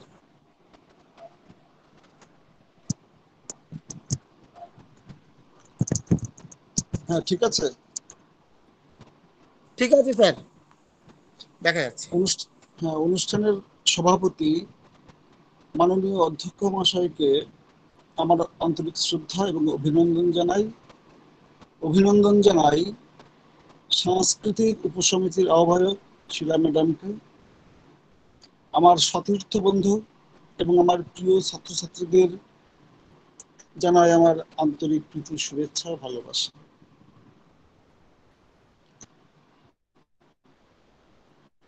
রবীন্দ্রনাথ সম্পর্কে অধ্যক্ষ মহাশয় বলেছেন। শিক্ষাবিদ হিসাবে তার পরিচয় দিয়েছেন খুব অল্প কথায়। মনুষ্যত্বের বিকাশের শিক্ষাকেই, মনুষ্যত্বের বিকাশকেই যে রবীন্দ্রনাথ শিক্ষা বলে মনে করতেন, সেটাও উনি ধরিয়ে দিয়েছেন আমাদের প্রিয় ছাত্রছাত্রীদের কাছে। আর আমাদের আশ্রফবাবু অনুষ্ঠান পরিচালনার ফাঁকে ফাঁকে এই যে রবীন্দ্রনাথের বহুমুখী প্রতিভা ঔপন্যাসিক নাট্যকার, কবি, গল্পকার, সমস্ত পরিচয় একটু একটু করে আমাদের জানিয়েছে আমাদের প্রিয় ছাত্রছাত্রীরা তাদের সংগীত, তাদের বক্তব্যের মধ্য দিয়ে, আবৃত্তির মধ্য দিয়ে রবীন্দ্রনাথের পরিচয় দিয়েছে তা আমি যেটা বলব সেটা হচ্ছে আজ এই সাহিত্যিক হিসাবে রবীন্দ্রনাথ নয়, কারণ অনেকটাই সাহিত্য সম্পর্কে আলোচনা হয়েছে। তবু দু চার কথা বলে, আমি আজ একটু অন্য রবীন্দ্রনাথ। রবীন্দ্রনাথের একটু অন্য পরিচয় দেব। যিনি জমিদার, যিনি প্রজাহিতৈষী যিনি পল্লী সংগঠক, যিনি ব্যবসায়ী, ব্যবসা পর্যন্ত করেছেন। তা রবীন্দ্র সাহিত্য আজও সমাদৃত। কেন আমরা জানি? যে বিশেষ দেশ, কাল সমাজের ঊর্ধ্বে উঠে উনি সাহিত্য রচনা করতেন তার সাহিত্যের ভাব চিরকালীন। এ বিষয়ে কারোর কোনো সংশয় নেই। সকলেই এক বাক্য বিষয়টিকে স্বীকার করবে আমার বক্তব্য মূলত ছাত্রছাত্রীদের উদ্দেশ্যে রবীন্দ্র সাহিত্যের একটা বিষয় একটু বলতেই হয়, সেটা হচ্ছে রবীন্দ্র সাহিত্যের ভাষা খুব সহজ সরল। পড়ার সঙ্গে সঙ্গে আমরা হয়তো আক্ষরিক অর্থ অর্থাৎ রবীন্দ্রনাথ কি বলতে চাইছেন বুঝে যায় বুঝতে পারি। কিন্তু তার ভাব, এই ভাব যে আমাদের সঙ্গে প্রতারণা করে আমরা যে একটু যত্ন বা নিষ্ঠা নিয়ে পড়াশোনা না করলে, রবীন্দ্র সাহিত্য উপলব্ধি করার চেষ্টা না করলে উপলব্ধি করতে পারব না। মাননীয় অধ্যক্ষ মশাই একটা কবিতা উল্লেখ করেছেন। সে বিখ্যাত কবিতা, বিপদে মরে রক্ষা করো, এই নহে মোর প্রার্থনা, বিপদে আমি না জানি, না যেন করি এই যে বিপদে রক্ষা আমরা তো রক্ষা করার কথাই বলি বলি আমাদের অন্তর দেবতার কাছে। আমরা তো চাই আমাদের ঈশ্বর, আমাদের ঠাকুর, অবশ্যই রবীন্দ্রনাথ ঠাকুর নন। মানে আমাদের যে প্রথাগত যেসব ঠাকুর ঠাকুরে অনেকে আমরা বিশ্বাস করি, সেই ঠাকুরের কাছে আমাদের তো আকাঙ্ক্ষার অন্ত মামলায় জিতিয়ে দেবে, পরীক্ষায় তাকে পাশ করিয়ে দিতে হবে, লটারি পাইয়ে দেবে, এরকম কত কিছু আমাদের প্রার্থনা। কিন্তু রবীন্দ্রনাথের প্রার্থনা তেমনটি নয়। এই যে কবিতার ভাবটা যখন আমরা বোঝার চেষ্টা করব, বারবার পাঠ না করি, উপলব্ধি করার যদি চেষ্টা না করি, যে উনি যে অন্তর্দেবতাকে শুধুমাত্র ভালোবাসার জন্য ভালোবাসছেন, সেই অন্তর্দেবতা কে? আত্মশক্তির জাগরণ। সেই আত্মশক্তি কি আছে? ওনার ভেতরের কিছু সম্ভাবনা আছে। প্রতিটি মানুষের মধ্যেই কিছু সম্ভাবনা আছে। সেই সম্ভাবনাকে জাগ্রত করার বিষয়টি উনি আলোকপাত করেছেন। কৃপান কবিতা, কবিতাটি আমাদের এক ছাত্রী বলল এই যে আত্মসমর্পণের কথা বলা হচ্ছে, এই দিকগুলো রয়েছে। তা আমাদের জীবনের যে একটা চালিকা শক্তি হতে পারে প্রেম, রবীন্দ্র সাহিত্যে বারবার সে কথা উঠে এসছে, যে প্রেমই জীবনের চালিকা শক্তি। প্রেমের জয়গান, সৌন্দর্যের জয়গান রবীন্দ্র সাহিত্যে মানে সব সময় সর্বত্রই করা হয়েছে। তবে এই যে প্রেম আর মোহ, যখন ছাত্রছাত্রীরা পাঠ করবে, তাদের কাছে আমার অনুরোধ যে এই প্রেম আর মোহ, এই বিষয়টাকে সম্পূর্ণ আলাদা করতে হবে। রবীন্দ্রনাথ মনে করতেন, এই যে জগৎ জীবনকে দুই ভাবে দেখা যায়। সৌন্দর্য রসিকের দৃষ্টিকোণ থেকে দেখা যায়, আবার ভোগীর দৃষ্টিকোণ থেকে দেখা যায়। এই ভোগীর দৃষ্টিকোণ থেকে দেখে কোনো আনন্দ নেই। সেই আনন্দ সাময়িক। সৌন্দর্য রসিকের দৃষ্টিকোণ থেকে দেখলে পরে যে অনাবিল আনন্দ পাওয়া যায় হ্যাঁ তা আমাদের শান্তি দেয়, স্বস্তি দেয়। তা এখানে একটা বিষয় বলি, এই প্রেমের প্রসঙ্গে যখনই উঠল, ছাত্রছাত্রীদের কিছু বিষয়ে কৌতূহল, অনেক সময় অনেক জানার আগ্রহ থাকে, কিন্তু যথাযথ বিশেষ করে করোনা পরিস্থিতি লাইব্রেরি ঠিকমতো ব্যবহার করতে পারছে না। বললেও হয়তো লাইব্রেরি সবসময় পাবে না। হয়তো পরিস্থিতি এরকম থাকবে না, আমরা জানি। এখন এই করোনার করোনার দ্বিতীয় ঢেউ চলছে। আমরা প্রত্যেকেই কম বেশি আতঙ্কিত। প্রতিনিয়ত আমরা প্রতিকূল পরিস্থিতির সঙ্গে লড়াই করছি। লড়াই করে করে আমরা ক্লান্ত, বিধ্বস্ত। এমন সময় আমাদের সামনে তো কোনো একটা ব্যক্তিকে যদি আমরা পাই, যিনি আমাদের পথ দেখাবেন বা কোনো ব্যক্তির আদর্শ যদি আমাদের সামনে থাকে, যার দ্বারা আমরা এই পরিস্থিতির উত্তরণ ঘটাতে পারব, সে সেই আদর্শ রবীন্দ্রনাথ। রবীন্দ্রনাথের সাহিত্য প্রেম, আরেকটা কথা বলে আমি অন্যদিকে যাব। এখানে ছাত্রছাত্রীরা অনেক সময় শুনবে, রবীন্দ্রনাথের জীবনে অনেক নারী এসেছিলেন। রবীন্দ্রনাথের অনেক অনুরাগিনী ছিলেন। কথাটি অবশ্যই সত্য। রবীন্দ্রনাথ নিজেও অনুরক্ত ছিলেন অনেকের প্রতি। কিন্তু উনি এই মনে করতেন, অনুরাগ শুধুমাত্র কামের আজ্ঞাবাহী নয়। অনুরাগ আসে সুন্দরের শুভ্রতা নিয়ে, অমলিন মাধুর্য নিয়ে। এই যে সুন্দরের শুভ্রতা, অমলিন মাধুর্য, যা মনকে ভরিয়ে রাখে যা মনকে সামনের দিকে এগিয়ে নিয়ে যায়। তাই উনি বলছেন, যে প্রেম সম্মুখ পানে চলিতে চালাতে নাহি জানে সেই প্রেম কিন্তু প্রেম না। প্রেম সবসময় সামনের দিকে এগিয়ে দেবে। তাহলে সেই প্রেমের মধ্যে, প্রেম সুন্দরের শুভ্রতা নিয়ে আসবে। তা এখানে রবীন্দ্র সাহিত্যে বিভিন্ন দিক যদি আমরা দেখি, আপাত দৃষ্টিতে মনে হচ্ছে পরে সকলেই বুঝিলাম। কিন্তু বাস্তবে বোঝাটা অত সহজ নয়। শেষের কবিতা উপন্যাসে যদি দেখা যায়, অসংখ্য উপন্যাস, অসংখ্য সংগীত কাব্য কবিতা রচনা করেছেন, আমাদের এই সময় অনেক কিছুই আলোচনা হয়েছে। আমি দু একটা জায়গায় ধরিয়ে দিই। কারণ সকলেরই কম বেশি জানা যে শেষের কবিতা উপন্যাসে অমিত লাবণ্যকে ভালোবাসে, লাবণ্য অমিতকে ভালোবাসে। কিন্তু রবীন্দ্রনাথ এই যে ভালোবাসার পরিণতি হ্যাঁ দাম্পত্য জীবনে সীমাবদ্ধ থাকবে এটা মনে করতেন না। এই যে উনি মুক্ত প্রেমে বিশ্বাস করতেন, এই মুক্ত প্রেম বুঝতে হবে, বদ্ধ প্রেম বুঝতে হবে। মুক্ত প্রেম মুক্ত প্রেম দাম্পত্য জীবনের সীমায়, সীমাবদ্ধতায় আবদ্ধ হলে তার মৃত্যু ঘটে। তার জন্যে আমরা দেখি শেষ পর্যন্ত যে লাবণ্য অমিতকে ভালোবাসে, কিন্তু তার সঙ্গে তার বিয়ে হয়নি। তারা তাদের প্রেমকে মুক্ত রাখতে চেয়েছে। তো যাই হোক আমরা যেটা বলব এখন, আমি যেটা বলব যে আমরা অনেক সময় বলি বা অনেকের মধ্যে এরকম ধারণা আছে আমাদের ছাত্রছাত্রীদের মধ্যে যে রবীন্দ্রনাথ সোনার চামচ মুখে নিয়ে জন্মেছিলেন।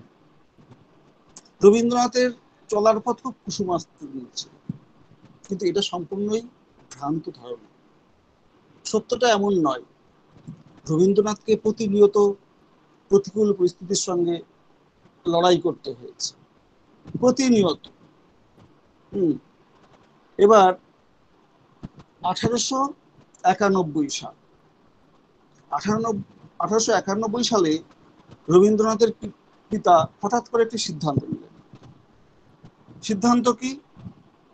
যে শিলাইদহে হম, শেলি সাহেবের দহ মানে নীলকর সাহেব, শেলি তার নাম অনুযায়ী শিলাইদহ।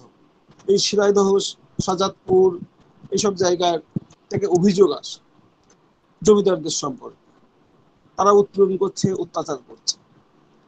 তা রবীন্দ্রনাথ খুব বিচক্ষণ মানুষ। উনি ভাবলেন যে রবীন্দ্রনাথ কবি মনের অধিকারী, কবি স্বভাবের অধিকারী, তার মনটা খুব কোমল হবে, দয়া মায়া আছে। তাকেই পাঠিয়ে দেখি না।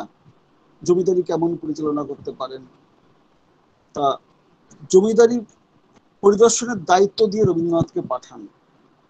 রবীন্দ্রনাথকে এরপরে আমরা এই আঠারোশো একানব্বই সাল থেকে উনিশশো বাইশ সাল পর্যন্ত জমিদারি কাজে যুক্ত থাকতে দেখি। আর তাই রবীন্দ্রনাথ গেলেন প্রথম জমিদারিতে মানে পরিদর্শনের দায়িত্ব নিয়ে। জমিদারির কাজের দায়িত্ব নিয়ে। এই দায়িত্ব নেওয়ার পরে যে তার চলার পথ কুসুমাস্তীর্ণ ছিল না, তাকে কীভাবে প্রতিকূল পরিস্থিতির সঙ্গে লড়াই করতে হয়েছে, একটি ছোট্ট উদাহরণ দিলেই বোঝা যায়। প্রথা বা রীতি অনুযায়ী নতুন জমিদারকে বরণ করে নেওয়া হবে, জমিদার বাবুকে বরণ করা হবে, বরণ অনুষ্ঠান হবে। রবীন্দ্রনাথ অনুষ্ঠানে উনি গেলেন, কিন্তু ওখানে গিয়ে একটা প্রতিবাদ করে বসলেন। প্রতিবাদটা কিসের? উনি গিয়ে দেখলেন যে বরণ অনুষ্ঠানের নাম হচ্ছে পূর্ণাহ অনুষ্ঠান সেখানে হিন্দু, মুসলমান, বিভিন্ন বর্ণ, বিভিন্ন ধর্মের মানুষ এসেছে। কিন্তু তাদের প্রত্যেকের বসার জায়গা আলাদা আলাদা করা হয়েছে। তাদের মধ্যে একটা ভেদ বিদ্বেষ সৃষ্টি করা হয়েছে। এটাই প্রথমে রবীন্দ্রনাথের বিরক্তির কারণ হয়ে দাঁড়ায়। কারণ উনি মানবতাবাদে বিশ্বাস করেন। প্রতিটি মানুষের মধ্যে মনুষ্যত্ব বোধ থাকলেই হ্যাঁ সে যে মহান মনুষ্যত্ববোধী যে মানুষের একমাত্র পরিচয়, তার এই বর্ণ নয়, তার ধর্ম নয়, রবীন্দ্রনাথ এই নীতিতে বিশ্বাস করতেন। তাই উনি বললেন, ওই সতেরো ইঞ্চির উপরে ওই হিন্দুদের জন্য হ্যাঁ যে চাদর পাতা আছে, মুসলমানদের চাদর নেই চন্ডালদের আলাদা আলাদা বসার ব্যবস্থা, এটা সরিয়ে দিতে হবে। কিন্তু নায়েব মশাই, প্রথার দাস, তিনি বললেন, না, প্রাচীন রীতি চলে আসছে, এটা সরানো যাবে না। রবীন্দ্রনাথ ভীষণ ক্রুদ্ধ হলেন। তিনি বললেন, আমি প্রাচীন প্রথা বুঝি না, সবার এক আসন করতে হবে। জমিদার হিসাবে এই আমার প্রথম হুকুম। তাহলে এখানে কিন্তু রবীন্দ্রনাথ কোমল স্বভাবের কবি না। কোমল স্বভাব কোথায়? উনি জমিদারি পরিচালনার দায়িত্ব নিয়ে প্রজাদের সুখ দুঃখ দেখলেন, প্রজাদের দারিদ্র দেখেছেন, তাদের এই দারিদ্র, তাদের অশিক্ষা কুশিক্ষা ওনার সংবেদনশীল কবির হৃদয়ে ব্যথার সঞ্চার করেছে উনি প্রতিজ্ঞা করেছেন যে না তাদের এই অবস্থার অবসান ঘটাতে হবে উনি তাদের এই অবস্থার অবসান ঘটানোর জন্য নিজে গ্রামে যেতেন, গ্রামে গিয়ে তাদের সঙ্গে কথা বলতেন, কীভাবে তাদের কল্যাণ মঙ্গল করা যায় সে বিষয়ে ভাবনা চিন্তা করতেন। উনি দেখেছিলেন যে গ্রাম বাংলা, এই গ্রাম বাংলার মানুষের চাষিদের একমাত্র আয়ের উৎস চাষবাস করা। অর্থাৎ চাষবাসের উন্নতি না হলে চাষিদের উন্নতি হবে না, চাষিদের উন্নতি না হলে দেশের উন্নতি হবে না। ওই সময়ে কি হতো? ধনী পরিবারের সন্তানদের পাঠানো হতো বিদেশে আইসিএস পড়ার জন্য, ব্যারিস্টারি পড়ার জন্য। কিন্তু রবীন্দ্রনাথ কি করলেন? তার পুত্র রথীন্দ্রনাথকে পাঠালেন। কি? কৃষি বিজ্ঞান, গোষ্ঠবিদ্যা, এইগুলো শিখে আসার নিজের জামাতাকে পাঠালেন, বন্ধুপুত্রকে পাঠালেন, প্রজাদের কৃষির উন্নয়নে মনোযোগ দিলেন। তা এইভাবে প্রজাদের কল্যাণ ও মঙ্গল করার জন্য উনি একই সঙ্গে কাব্য রচনার পাশাপাশি প্রভূত যে ভাবনা চিন্তা করেছেন, তার পরিচয় কিন্তু পিতৃস্মৃতি গ্রন্থে কিন্তু আমরা পেয়ে যাব। এরপরে শুধুমাত্র এখানেই নয়, কি করে এই যে হাঁস মুরগি পালন করে উৎপাদন বাড়ানো যাবে সে ব্যাপারেও ব্যাপারেও ভাবনা চিন্তা করেছেন আবার ব্যবসা বাণিজ্য, উনি নিজে ব্যবসায় শুরু করেছেন। কেন? এই যে প্রজারা যে ধান, পাট উৎপাদন করে, প্রজাদের কাছ থেকে কিনে যদি বাজারে ছাড়া যায়, প্রজাদের সুবিধা হবে। নিজে অর্থ লগ্নি করেছেন। এবং শেষ পর্যন্ত দেখি তার সেই অর্থ কর্মচারী মেরে দিয়ে পালিয়ে যায়। তার ব্যবসা ফেল করে। তিনি মারাইয়ের কল করেছিলেন। তাহলে এই যে জীবনে চলার পথ যে কুসুমাস্তীর্ণ নয় প্রতিবন্ধকতার সৃষ্টি হচ্ছে, এটা আমরা দেখতে পাই। অর্থাৎ রবীন্দ্রনাথ মানে যে শুধুমাত্র কাব্য কবিতা রচনা করেছেন, সাহিত্য রচনা করেছেন তা নয়। তিনি একই সঙ্গে জমিদারি পরিচালনা করেছেন এবং দক্ষতার সঙ্গে পরিচালনা করেছেন। জমিদারির আয় বৃদ্ধি করেছেন, প্রজাদের কল্যাণ করেছেন। এখন যে সাম্প্রদায়িক হানাহানি তখনও সেটা ছিল। উনি সম্প্রদায় সম্প্রদায় যাতে বিভেদ না ঘটে, তার ব্যবস্থা করেছেন। ও যাদের হিন্দু, মুসলমান নির্বিশেষে প্রত্যেকে সমান মর্যাদা গুরুত্ব দিয়েছেন। ওনার কর্মচারীদের মধ্যে উনি দেখেছিলেন যে অনেক মুসলমান বঞ্চিত হচ্ছে। মুসলমানের সংখ্যা কম। এর জন্য তাদের মধ্যে একটা ক্রোধ বা ক্ষোভ রয়েছে। উনি সেটা নিরসন করা যায় কীভাবে, সেটা ভেবেছিলেন। তাহলে এই যে রবীন্দ্রনাথ, এই রবীন্দ্রনাথের পরিচয় আমরা যেভাবে আজকে জানতে পারি, তাতে এই যে পল্লীর উন্নয়ন, পল্লী সংগঠক আবার জন মানে মানব কল্যাণকামী, আমাদের এই যে করোনার পরিস্থিতিতে রবীন্দ্রনাথ যেরকম গ্রামীণ স্বাস্থ্যের উন্নতির কথা ভেবেছিলেন, আজ আমাদের কিন্তু আশ্রফবাবু বলেছেন আমাদের প্রত্যেকের ভাবতে হবে। নিজেদের কথা ভাবতে হবে, নিজেদের রক্ষা করতে হবে আচরণের বিধি মেনে চলতে হবে এবং অন্য যাতে মান্যতা দেয় তার জন্য তাদের সহযোগিতা করতে হবে, তাদের বোঝাতে হবে, এই ব্যাপারে ছাত্রছাত্রীদের দায়িত্ব নিতে হবে। প্রত্যেকে প্রত্যেকের সামর্থ্য অনুযায়ী, অর্থ দিয়ে হোক, শক্তি দিয়ে হোক, অন্তত পরামর্শ দিয়ে হোক, তাদের পাশে দাঁড়াতে হবে। তাহলে এই যে রবীন্দ্রনাথের যে আদর্শ, তাকে যথাযোগ্য মর্যাদা এবং সম্মান দেওয়া হবে। সকলকে ধন্যবাদ জানিয়ে এখানে সমাপ্ত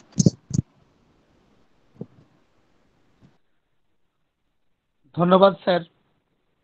এক অপূর্ব মনজ্ঞ রবীন্দ্রনাথের জীবনের অনেকগুলো পর্যায়ে, অনেকগুলো বিষয় আপনি আলোচনা করলেন।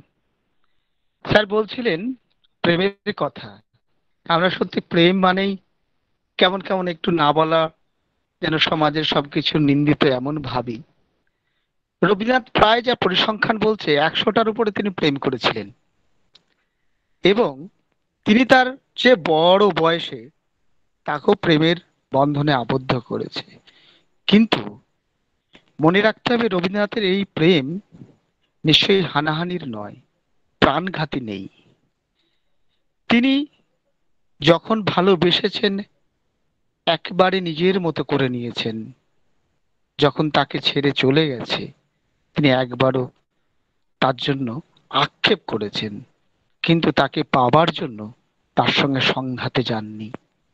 এবং রবীন্দ্রনাথের এই প্রেম, তিনি পেয়েছিলেন, স্যার বলছিলেন অনেকগুলো কথা হাফিজের কাছ থেকে এবং পারস্য সাহিত্য, সুফি, বাদ, বিশেষ করে আমাদের লালন তাদের কাছ থেকে পেয়েছেন।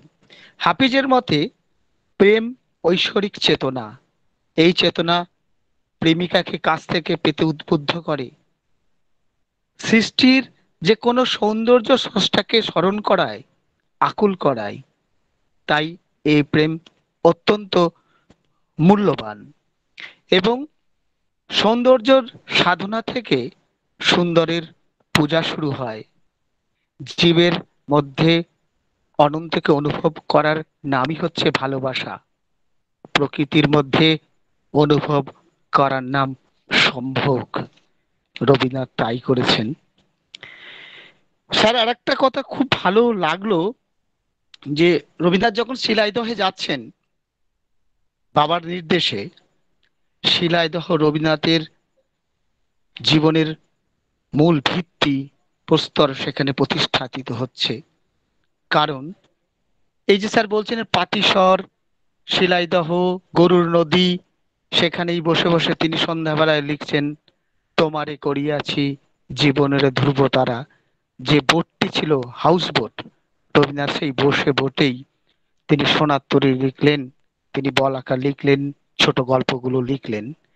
একটি কথা বলতেই হচ্ছে, রবীন্দ্রনাথ হোমিওপ্যাথি চিকিৎসা করতেন এবং তিনি মানুষের মনের মধ্যে, অর্থাৎ যেমন হোমিওপ্যাথি, অ্যালোপ্যাথি, তার সঙ্গে সিমপ্যাথিও রবীন্দ্রনাথের অবশ্যই ছিল, যার জন্যই রবীন্দ্রনাথের এত অনুরাগী আমরা সবাই। তো স্যারের কাছ থেকে আমরা নতুন করে বোধহয় এক চিন্তার, এক চেতনার কথাবার্তা পেলাম। আর ছাত্রছাত্রীদের বলব, আমি একটা রিকোয়েস্ট করব। তোমরা পারলে খুব একটা চটি বই আছে, শিলাইদহে রবীন্দ্রনাথ, প্রমথনাথ বিশির লেখা। এই বইটা পড়ো। খুব ভালো লাগবে, খুব চটি বই। শিলাইদহে রবীন্দ্রনাথ পড়ো, তাহলে রবীন্দ্রনাথের যে জীবন, রবীন্দ্রনাথ এই জায়গায় আসার অনেক চাবিকাঠি তোমরা ওখানে পাবে। ধন্যবাদ স্যারকে আর একবার এরপরে আমরা একটু আবৃত্তি শুনব। ঐকতান, কৃতিতপা গড়াই, বাংলা বিভাগ দ্বিতীয় শ্রেণি। কৃতিতপা, তোমাকে স্বাগত জানাচ্ছি। আবৃত্তি। নমস্কার। এখানে উপস্থিত আমার সকল শিক্ষক এবং শিক্ষিকা মণ্ডলীকে এবং কবিগুরুকে প্রণাম জানিয়ে রবীন্দ্র জয়ন্তী উপলক্ষে আমি রবীন্দ্রনাথ ঠাকুরের লেখা একটি কবিতা পাঠ করার চেষ্টা করছি। ঐক্যতান রবীন্দ্রনাথ ঠাকুর। বিপুলা এই পৃথিবীর কতটুকু জানি? দেশে দেশে কত না নগর রাজধানী। মানুষের কত কীর্তি, কত নদী, গিরি, সিন্ধু, মরু। কত না অজানা জীব, কত না অপরিচিত তরু। রয়ে গেল অগচরে। বিশাল বিশ্বের আয়োজন মন মোর জুড়ে থাকে অতি ক্ষুদ্র তারই এক কোণ। সেই ক্ষোভে পরিগ্রন্থ ভ্রমণ বৃত্তান্ত আছে যাহে, অক্ষয় উৎসাহে। যেথা পাই চিত্রাময়ী বর্ণনার বাণী কুড়াইয়া আনি। জ্ঞানের দীনতা এই আপনার মনে, পূরণ করিয়া লই যত পারি ভিক্ষালব্ধ ধনে। আমি পৃথিবীর কবি। জেতা তার যত উঠে ধ্বনি আমার বাঁশির সুরে সারা তার জাগিবে তখনই। এই স্বর সাধনায় পৌঁছিল না বহুতর ডাক, রয়ে গেছে ফাঁক। কল্পনায় অনুমানে ধরিত্রীর মহা এক টান কত না নিস্তব্ধ ক্ষণে পূর্ণ করিয়াছে মোর প্রাণ। দুর্গম তুষারগিরি, অসীম নিঃশব্দ নীলিমায় অশ্রুত যে গান গায়, আমার অন্তরে বারবার পাঠাইছে নিমন্ত্রণ তার। দক্ষিণ মেরুর ঊর্ধ্বে যে অজ্ঞাত তারা মহাজন শূন্যতায় দীর্ঘরাত্রি করিতেছে সারা। সে আমার অর্ধরাত্রে অনিমেষ চোখে, অনিদ্রা করেছে স্পর্শ অপূর্ব আলোকে। সুদূরের মহাপ্লাবী প্রচণ্ড নিঝর মনের গহনে মোর পাঠাইছে স্বর। প্রকৃতির ঐকতান স্রোতে, নানা কবি ঢালে গান নানা দিক হতে। তাদের সবার সাথে আছে মোর এই মাত্র যোগ। সঙ্গ পাই সবাকার, লাভ করি আনন্দের ভোগ। গীত ভারতীর, আমি পাই তো প্রসাদ, নিখিলের সঙ্গীতের স্বাদ। সবচেয়ে দুর্গম যে মানুষ আপন অন্তরালে, তার পূর্ণ পরিমাপ নাহি বাহিরের দেশে কালে। সে অন্তর্ময়, অন্তর মিশালে তবে তার অন্তরের পরিচয়।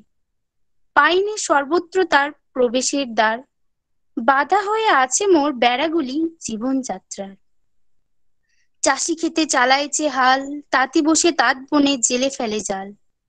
বহুদূর প্রসারিত এদের বিচিত্র কর্মভার। তারই পরে ভর দিয়ে চলিতেছে সমস্ত সংসার। অতি ক্ষুদ্র অংশে তার সম্মানের চিরনির্বাসনে, সমাজের উচ্চ মঞ্চে বসেছি সংকীর্ণ বাতায়নে। মাঝে মাঝে গেছি আমি ওপাড়ার প্রাঙ্গণের ধারে। ভিতরে প্রবেশ করি, সে চুক্তি ছিল না একেবারে।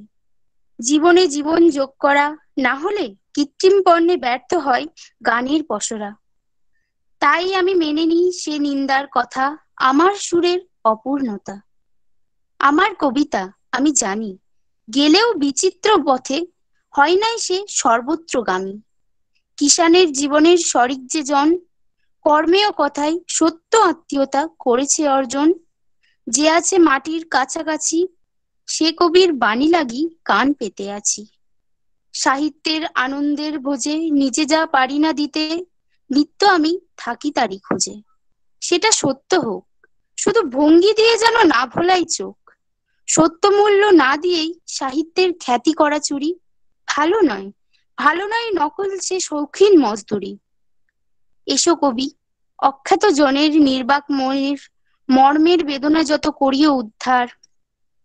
প্রাণহীন এ দেশেতে গানহীন জেতা চারিধার। অবজ্ঞার তাপে শুষ্ক নিরানন্দ সেই মরুভূমি। রসে পূর্ণ করি দাও তুমি। অন্তরে যে উৎসতার আছে আপনারই, তাই তুমি দাও তো উদবাড়ি সাহিত্যের ঐকতান সংগীত সভায়, একতারা যাহাদের তারাও সম্মান যেন পায়। মুখ যারা দুঃখে সুখে নতশির স্তব্ধ যারা বিশ্বের সম্মুখে, ওগো গুণী, কাছ থেকে দূরে যারা তাদের বাণী যেন শুনি। তুমি থেকো তাহাদের জ্ঞাতি, তোমার খ্যাতিতে তারা পায় যেন আপনারই খ্যাতি। আমি বারংবার তোমারে করিব নমস্কার নমস্কার। ধন্যবাদ তোমাকে। তুমি যে কবিতাটা বললে তাতে কবির শব্দটা চারবার রয়েছে। কবি শব্দটা এসেছে কব ধাতু থেকে। কব মানে যিনি হৃদয়ে একটি আকুতি বহন করে নিয়ে চলেন, তিনিই কবি। এবং তার হৃদয় যখন বিশ্ব হৃদয় হয়ে যায়, তার মন যখন বিশ্ব মন হয়ে যায়, চক্ষু যখন বিশ্ব চক্ষু হয়ে যায়। তার ত্বক দিয়ে সে অনুভব করে ব্রহ্মস্পর্শ, বৃহতের স্পর্শ। তখনই তিনি কবি, কবিকে বলা হয় কান্তদর্শী, যিনি ভবিষ্যৎকে দেখতে পান। দেখতে পেয়েছিলেন আমাদের এই সংকট মুহূর্তে তাকেই আমাদের প্রয়োজন। কবি যেখানে এক জায়গায় বলছেন, রণধারাবাহী জয়গান গাহি উন্মাদ কলরবে ভেদি মরুপদ গিরি পর্বত, যারা এসেছিল সবে, তারা মোর মাঝে সবাই বিরাজে। কেহ নহে নহে দূর। আমার শনিতে, রয়েছে ধ্বনিতে তারই বিচিত্র সুর। আমরা সবার মধ্যে হিন্দু, মুসলমান নয়, খ্রিস্টান, বৌদ্ধ নয়, ছোট জাত, বড় জাত নয় আমরা সবাই মানুষ, এই পরিচয় আমাদের বড় পরিচয়। এরপরে আমরা অবশ্যই একটি সংগীত শ্রবণ করব এবং সংগীত পরিবেশন করবেন যিনি। তিনি শুধু কেবল শঙ্করই নয় মণি শঙ্কর আমাদের সবার মণি, অর্থাৎ কিনা সাংস্কৃতিক জগৎ আমাদের কলেজের মধ্যে যদি কোনো সময় আলোচনা হয়, তার অবদান সিংহভাগ চলে আসে। এবং তার পরিবারও আমরা জানি, এই সাংস্কৃতিক চর্চা এবং সংগীত, তবলা, সুর, তাল, ছন্দ, লয় এর মধ্যে দিয়ে কাটে। এবং গণিত বিভাগের অধ্যাপক মণিশঙ্কর মণ্ডল, স্যার, আপনাকে স্বাগত জানাচ্ছি। সংগীত পরিবেশন করার জন্য। আসুন, স্যার।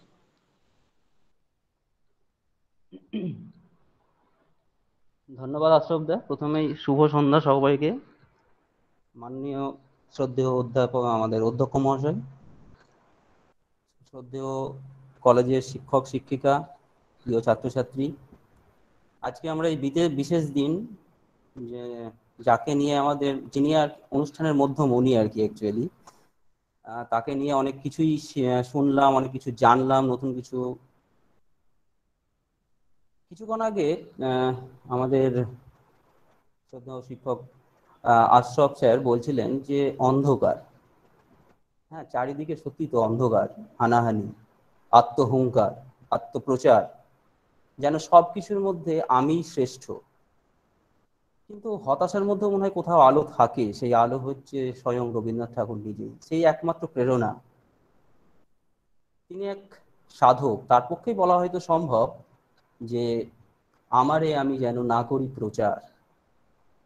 তাই আজকের এই শুভ সন্ধ্যায় তারই জন্মদিনে তারই রচিত একটি গান, পূজা পর্যায়ের গান অবশ্যই।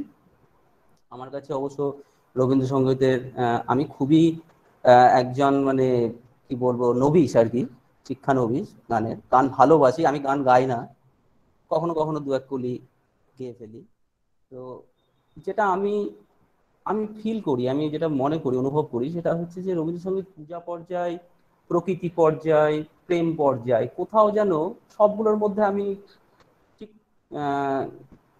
পার্থক্য খুঁজে হয়তো পাই না। পূজা মানেই তো রবীন্দ্রনাথ প্রেম প্রেম মানেই তো কোথাও প্রকৃতি, সব জায়গায় মিলেমিশে একাকার হয়ে যায়। তাই আমি একটা চেষ্টা করি আজকে একটি পূজা পর্যায়ের গান। গানটি খুবই পরিচিত গান, সকলের পরিচিত গান। আমি চেষ্টা করছি, খুবই কঠিন গান, তাও আমি একটু চেষ্টা করার করছি আর কি। ভুল হলে মাফ করবেন।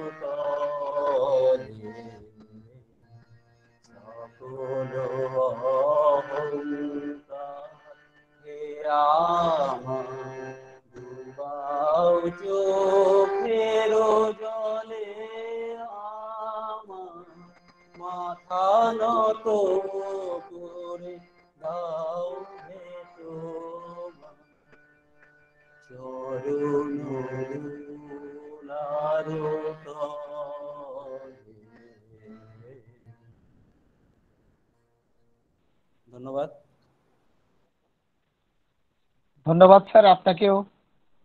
আমাদের সকলের মাথা যেন সেই পুণ্যাত্মার চরণে নমিত হয়। এত বিশাল পৃথিবীর কাছে, এত বিশাল শক্তির কাছে আমরা অত্যন্ত তুচ্ছ। এবং এই ইন্দ্র সম এই সূর্য সম রবীন্দ্রনাথ যদি মাথা নত করতে পারেন, তাহলে আমরা কেন পারি না? স্যার বলছিলেন যে এই জগতের কথা, মানুষের ভেদাভেদের কথা, রবীন্দ্রনাথ ঠাকুর এক জায়গায় বলছেন, ঈশ্বর তিন রূপে আমাদের কাছে আবির্ভূত হন। একটি প্রকাশ জগতে, একটি প্রকাশ মানব সমাজে।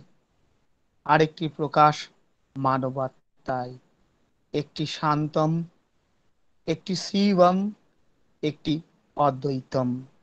শান্ত, আপনাতেই আপনি স্তব্ধ থাকলে তবেই তা প্রকাশ করতে পারে না। সে চঞ্চল বিশ্বজগতে ঘুরে বেড়ায় এবং তার মধ্যেই আমাদের সে আনন্দকে খুঁজে নিতে হবে। তাহলেই বোধহয় আমাদের এই জীবন, আমাদের সমাজ সার্থক হবে। আমরা জানি না কবে কোন ধর্ম যাজকরা আমাদের কি উপদেশ দিয়েছেন, সেগুলো সমস্ত ভুলে ধর্মটা আমাদের ব্যক্তিগত সত্তায় থাকুক, বাড়ির মধ্যে থাকুক, আর আমাদের মানবতা সত্তা বিকৃত হোক আমাদের সমাজে। আমাদের সমস্ত ছাত্রছাত্রীদের উদ্দেশ্যে, সমস্ত শিক্ষকদের উদ্দেশ্যে একটাই প্রার্থনা। প্রার্থনা। আমরা মানুষ, আমরা অসীমের শক্তির প্রকাশ, তাই ধর্ম নিয়ে হানাহানি নয়, ধর্ম সমন্বয় সাধন, এই আমাদের প্রার্থনা হোক। এরপরে আমরা প্রায় শেষের দিকে চলে এসেছি অনুষ্ঠানের। এরপরে বক্তব্য রাখছে রবীন্দ্রনাথের সৃষ্টি ও বর্তমান সময় সুবোধ ঘোষ, সংস্কৃত বিভাগ, দ্বিতীয় সেমিস্টার। সুবোধ তোমাকে স্বাগত জানাচ্ছি। নমস্কার, স্যার। প্রণাম জানাই আজকের অনুষ্ঠানের মধ্যমণি কবিগুরু রবীন্দ্রনাথ ঠাকুরকে। প্রণাম জানাই আমাদের কলেজের অধ্যক্ষ মহাশয় এবং প্রণাম জানাই অনুষ্ঠানে উপস্থিত সমস্ত অধ্যাপক এবং অধ্যাপিকাকে। এবং ক্ষমা চেয়ে নিচ্ছি, আমি ভিডিওটি অন করতে পারছি না, নেটওয়ার্ক সমস্যা প্রচণ্ড পরিমাণে হচ্ছে এখানে। বৈশাখের কাল বৈশাখীর মধ্যে যদি কিছু শুভকর এবং সুখকর হয়ে থাকে বাঙালির জীবনে, সেটি আজকের দিন, পঁচিশে বৈশাখ, রবীন্দ্র জয়ন্তী। বারোশো আটষট্টি বঙ্গাব্দের পঁচিশে বৈশাখ জন্মগ্রহণ করেন বাঙালির মধ্যমণি রবীন্দ্রনাথ ঠাকুর। তিনি ছিলেন অগ্রণী বাঙালি কবি ঔপন্যাসিক সংগীত স্রষ্টা, নাট্যকার, চিত্রকর, ছোট গল্পকার, প্রাবন্ধিক, অভিনেতা, কণ্ঠশিল্পী, দার্শনিক। অর্থাৎ যার গুণাবলী বর্ণনা করতে গিয়ে, যার প্রতিভার কথা বলতে গিয়ে আমাদের এক নিঃশ্বাস কুলোয় না। তাকে বাংলা ভাষার সর্বশ্রেষ্ঠ সাহিত্যিক মনে করা হয়। রবীন্দ্রনাথকে গুরুদেব, কবিগুরু, বিশ্বকবি অভিধায় ভূষিত করা হয়। তিনি বাহান্নটি কাব্যগ্রন্থ, আটত্রিশটি নাটক, তেরোটি উপন্যাস, ছত্রিশটি প্রবন্ধ এবং অন্যান্য গদ্য সংকলন তিনি লিখেছেন। আট থেকে আশি সকলের কাছেই তার লেখা অত্যন্ত সুখকর এবং তাদেরকে সমৃদ্ধ করে তুলেছে। রবীন্দ্রনাথ তার লেখার মধ্যে সমস্ত কিছুকে তুলে ধরেছেন। তিনি তৎকালীন সময়ের এবং সমাজের বিভিন্ন অন্ধকার দিক, আলোর দিক, সমাজে বিভিন্ন অসুবিধা, সুবিধা, সমাজের মধ্যে বসবাসকারী মানুষের জীবনে দুঃখ, কষ্ট, আনন্দ, পরিবেশের অবস্থা, মানুষের প্রেম, বিরাগ বিচ্ছেদ সকলকে তিনি তার কাব্য, তার গ্রন্থ, তার গল্প, তার প্রবন্ধের মধ্যে তিনি তুলে ধরেছেন।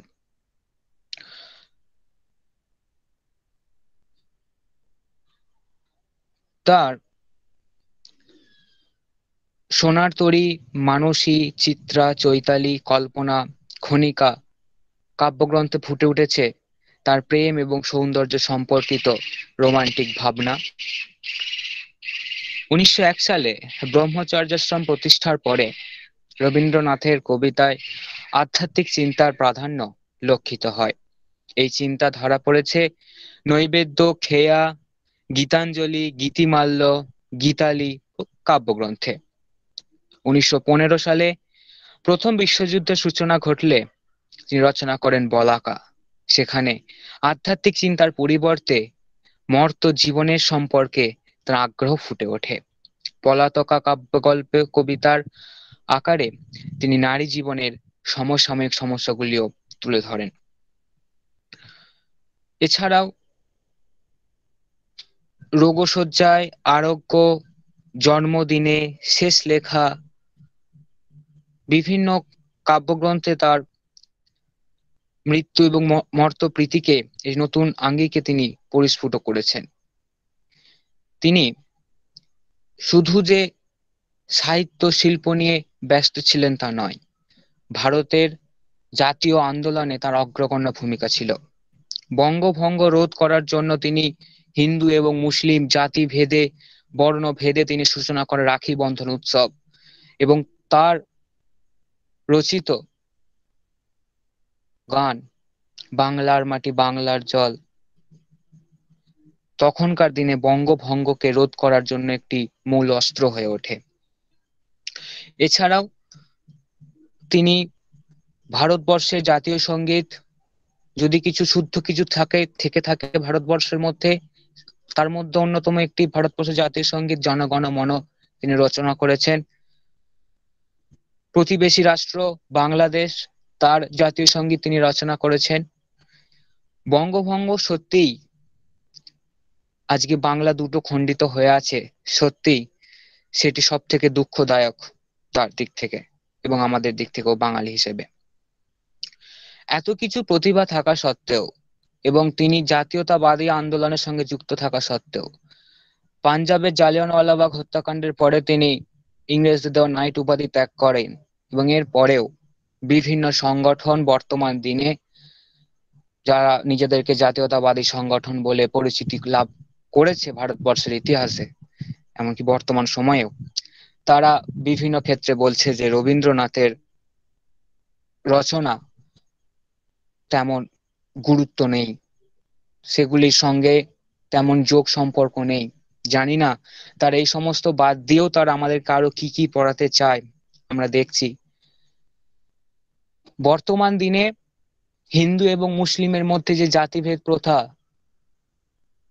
দাঙ্গা, হানাহানি, দিনের পর দিন সমাজে ধর্ম নিয়ে যে খেলা চলে যাচ্ছে চলছে, এটা বাংলা সহ ভারতবর্ষের সমস্ত সংস্কৃতিকে ধ্বংস করে দিচ্ছে। তার জন্য রবীন্দ্রনাথ ঠাকুর এখন সত্যি অনেক গুরুত্বপূর্ণ হয়ে উঠেছেন। এছাড়াও আমরা আজকে অনেক শিক্ষার্থী এইখানে এই অনুষ্ঠানের মধ্যে রয়েছি। আমরা রবীন্দ্রনাথ ঠাকুরকে আজকের দিনের জন্যই হয়তো আমরা শ্রদ্ধা জানাচ্ছি, ভক্তি করছি, প্রণাম করছি। আবার একটুখানি পরে ফেসবুক যখন খুলবো, তখন দেখতে পাবো যে রবীন্দ্রনাথের ছবি দিয়ে নিচে লেখা আছে, কবি বলেছেন, এই যে নিজের মতো করে একটি মতামত আমরা দিয়ে দিলাম সেখানে। এবং তার নিচে আবার রবীন্দ্রনাথ ঠাকুরের ছবি এবং তিনি বলছেন, না, এ তো আমি বলিনি। তাহলে এটা হয়তো আমাদের বর্তমান সংস্কৃতির মধ্যে পড়ে যাচ্ছে। রবীন্দ্রনাথ ঠাকুরকে নিয়েও ট্রল ট্রোল করা যায় আধুনিক ফেসবুক বলুন হোয়াটসঅ্যাপ তাতে সেটি আমরা দেখতে পাচ্ছি। আমরা বিভিন্ন ব্যক্তি রাজনীতিকে ঘৃণা করি, রাজনৈতিক নেতাদেরকে ঘৃণা করি না, তারা ভারতবর্ষের সহ বাংলার বিভিন্ন গুণী শিল্পী তাদেরকে অপমান করছেন, এ করছেন। কিন্তু আমরা নিজেরা কবি গুরুকে নিয়েও যখন ট্রল করি, তখন কিন্তু আমরা নিজেদের গায়ে আমরা সেটা মাখি না। এবং বর্তমান দিনে তার কার্য আমাদেরকে রেখে দেয় এবং তার পথে আমার, তার বিভিন্ন গ্রন্থ রচনা আমাদেরকে পাথেও করে তোলে। সামনের দিকে এগিয়ে নিয়ে যাওয়ার জন্য।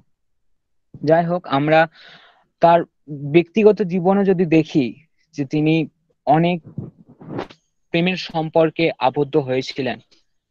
আমার ব্যক্তিগত অভিমতে বলতে পারি যে, তিনি প্রেমের সম্পর্কে আবদ্ধ হয়েছিলেন এটা ঠিক কথাই। কিন্তু তিনি একটা কথা শিখিয়েছিলেন যে, মানুষের মিলনটা মন থেকে হয়, আসল মিলন হয় মন থেকে। তিনি অনেক মানুষের কাছে গিয়েছেন তার মনের মিল খুঁজে পাওয়ার জন্য। মনের মিলটি তিনি খুঁজে পাওয়ার জন্য তিনি অনেক মানুষের সঙ্গে মেলামেশা করেছেন, অনেক নারীর সঙ্গে হয়তো তার সম্পর্ক স্থাপন হয়েছে। এবং তিনি তার রচনার মাধ্যমে আধুনিক যে প্রেমিক প্রেমিকা এবং বিরহ কাতর বিভিন্ন ব্যক্তিদের মধ্যে নতুন বেঁচে থাকার জন্য নতুন রসদ তিনি সংগ্রহ করেছেন। এই বলে আমি আমার ছোট্ট বক্তব্য শেষ করছি। ধন্যবাদ। ধন্যবাদ। আমাদের স্নেহের ছাত্র সুবোধকে। যে আধুনিক জগতে যে সমস্ত সমস্যা চলছে রবীন্দ্রনাথকে নিয়ে, তা তিনি তুলে ধরলেন, তা তিনি তুলে ধরলেন আমাদের কাছে। আসলে বোধ হয় ষষ্ঠার চেয়ে সৃষ্টি বড় হয়ে যায়। রবীন্দ্রনাথ শেষের কবিতা এক জায়গায় বলছেন, কমল হীরের পাথরটাকে বলা হয় বিদ্যে। তা থেকে যে আলো ঠিকরে পড়ে, তাকে বলে কালচার। পাথরের আছে ভার, আলোর আছে দীপ্তি, অর্থাৎ সেই আলো, সেই জ্ঞান। এটাই আমাদের পাথেয় করতে হবে। এটা দিয়ে আমাদের এগিয়ে যেতে হবে। শুধু আজকের এই আলোচনা সভা আজকের মধ্যে সীমাবদ্ধ রাখতে হবে না। আমরা এমন একজনও যদি রবীন্দ্রনাথের মত, রবীন্দ্রনাথের পথকে অনুসরণ করে এগিয়ে যাই, তাহলে বোধ এই আলোচনা সার্থক হবে। শুধু বক্তব্য রাখলাম, গান করলাম, কবিতা করলাম, আবার একটু পরে ভুলে গেলাম। এটা আমাদের পাথেও নয়। একটি কথা না বললেই নয়।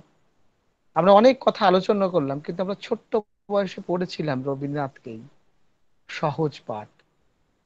তিনি কেবল বড়দের জন্য অনেক কিছু লিখেছেন ঠিকই, কিন্তু সহজ পাঠ সহজ নয়। আমরা যখন শুনছি বা পড়েছি, আজ মঙ্গলবার পাড়ার জঙ্গল সাফ করার দিন।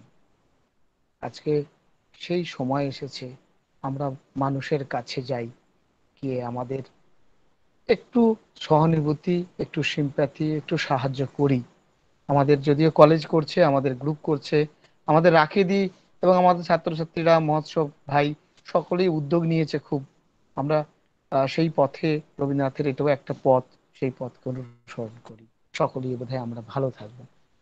এরপরে আমরা শেষ পর্যায়ে চলে এসেছি আমাদের ধন্যবাদ জ্ঞাপন।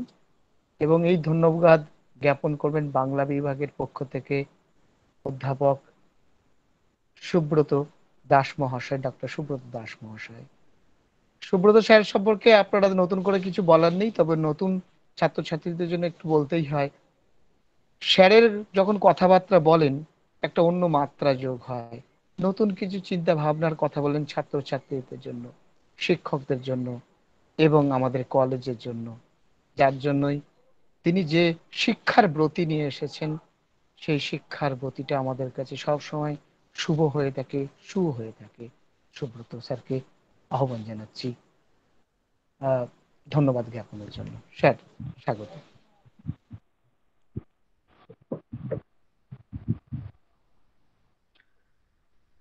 প্রথমেই প্রণাম জানাই। আজকে যাকে কেন্দ্র করে এই অনুষ্ঠান, সেই মহান ব্যক্তিত্ব যিনি শুধু বাঙালির নন, সামগ্রিকভাবে ভারতবাসীর বোধহয় একটা নতুন পরিচয় তৈরি করে দিয়েছিলেন। নতুন পরিচয় এই কথাটা বলছি এই কারণেই প্রায় একশো ষাট বছর আগে যে সময়ে রবীন্দ্রনাথের জন্ম ভারতবর্ষে, সেই সময়টা পৃথিবীর কাছে ভারতবর্ষের পরিচিতি ছিল। মূলত ব্রিটিশদের একটা উপনিবেশ হিসেবে। এবং সেই সময়ের স্মৃতিকথাগুলো যদি আপনারা নিশ্চয়ই পড়েছেন, দেখবেন যে ইউরোপ থেকে যারা দেশে আসতেন। তা ব্যবসার কাজেই হোক কিংবা সরকারি কাজেই হোক না কেন, তারা খুব ভয় ভয়ে আসতেন। যে ভারতবর্ষ মানে ধুলো, কাদা, ময়লা, মশা, মাছি, ওলা ওঠা, প্লেগ, এই ধরনের ভয়ানক একটা পরিস্থিতি। এবং অবশ্যই গরমের দেশ। অর্থাৎ ভারতবর্ষ সম্পর্কে খুব একটা যে উজ্জ্বল ভাবমূর্তি বাইরে ছিল রবীন্দ্রনাথের জন্মের সময়ে, তেমনটা আমরা জাঁক করে বলতে পারি না। এবং এর সঙ্গে তারা মনে করতেন, একটা সময় ইউরোপে মানুষরা বিশ্বাস করতেন যে এদেশের মানুষ মানেই হচ্ছে কুসংস্কারে আচ্ছন্ন, একটা দেশ, কালো চামড়ার মানুষদের একটা দেশ। যেখানে সংস্কৃতি বলে কিছু নেই, সভ্যতা বলে কিছু নেই, এবং খানিকটা জাঁক করে আমাদের ব্রিটিশ প্রভুরা যখন এই দেশে তাদের সাম্রাজ্য স্থাপন করছেন, তারা জনান্তিকে বলে বেড়াতেন যে এদেশে মানুষকে সুসভ্য করার জন্য এদেশের মানুষকে সভ্যতার আলো দেখানোর জন্য তারা এদেশে রাজত্ব করছেন। অদৃষ্টের পরিহাস। যে ভারতবর্ষ এবং যে উপমহাদেশ কিংবা আমরা প্রাচ্যের কথাই বলি না কেন? শুধু ভারতবর্ষ কেন? ভারতবর্ষ, আরব, আরবের দেশগুলো, মিশরীয় সভ্যতা, চীনের সভ্যতা। একটা সময় ইউরোপের মানুষরা যখন ওই বন্য জন্তুর পিঠে বসে যাযাবর জীবন কাটাতো, সেই সময় তারা সভ্যতা আলো দেখিয়েছে। সেটা পদার্থবিদ্যা হতে পারে, রসায়নবিদ্যা হতে পারে, বা জ্যোতির্বিজ্ঞান হতে পারে। এমনকি সাহিত্যের কথা যদি বলি, সাহিত্যেও পৃথিবীর মধ্যে কিন্তু আলো দেখিয়েছে এই পূর্বের মানুষেরা। সেটা বিমালুম চেপে গেছিলেন, ভুলে গেছিলেন সেদিনের ইউরোপের তথাকথিত সভ্য মানুষেরা। তাদের সেই ফর্সা গালে সজোরে একটা চপটাঘাট দিয়েছিলেন রবীন্দ্রনাথ। রবীন্দ্র সম্পর্কে বিভিন্ন কথা আপনারা শুনেছেন, আপনারা জানেন। প্রতি বছরই আমরা এই পঁচিশে বৈশাখ এবং বাইশে শ্রাবণ রবীন্দ্রনাথকে নিয়ে অনেক কথা বলেছি। আমরা জানি যে শুধু সাহিত্যের জগতে নয়, কারণ রবীন্দ্রনাথ নিজেও বিশ্বাস করতেন ইউরোপের একটি পুরস্কার, তাকে কবি হিসেবে রাতারাতি বিরাট বড় একজন মাপের কবি করে তুলবেন এমনটা তিনিও বিশ্বাস করতেন না।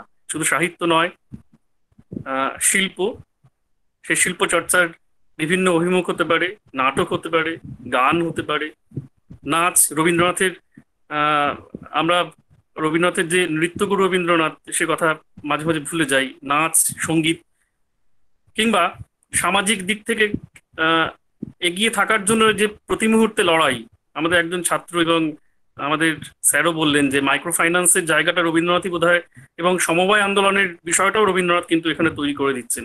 চারিদিক থেকে এগিয়ে থাকা একজন মানুষ, সেই মানুষকে অবলম্বন করেই তো আমরা নতুন করে সারা বিশ্বের কাছে নিজেদেরকে মেলে ধরেছি। এবং একটা সময়ে সারা পৃথিবীর মানুষ ভারতবর্ষ মানে কিন্তু রবীন্দ্রনাথকে বুঝতেন।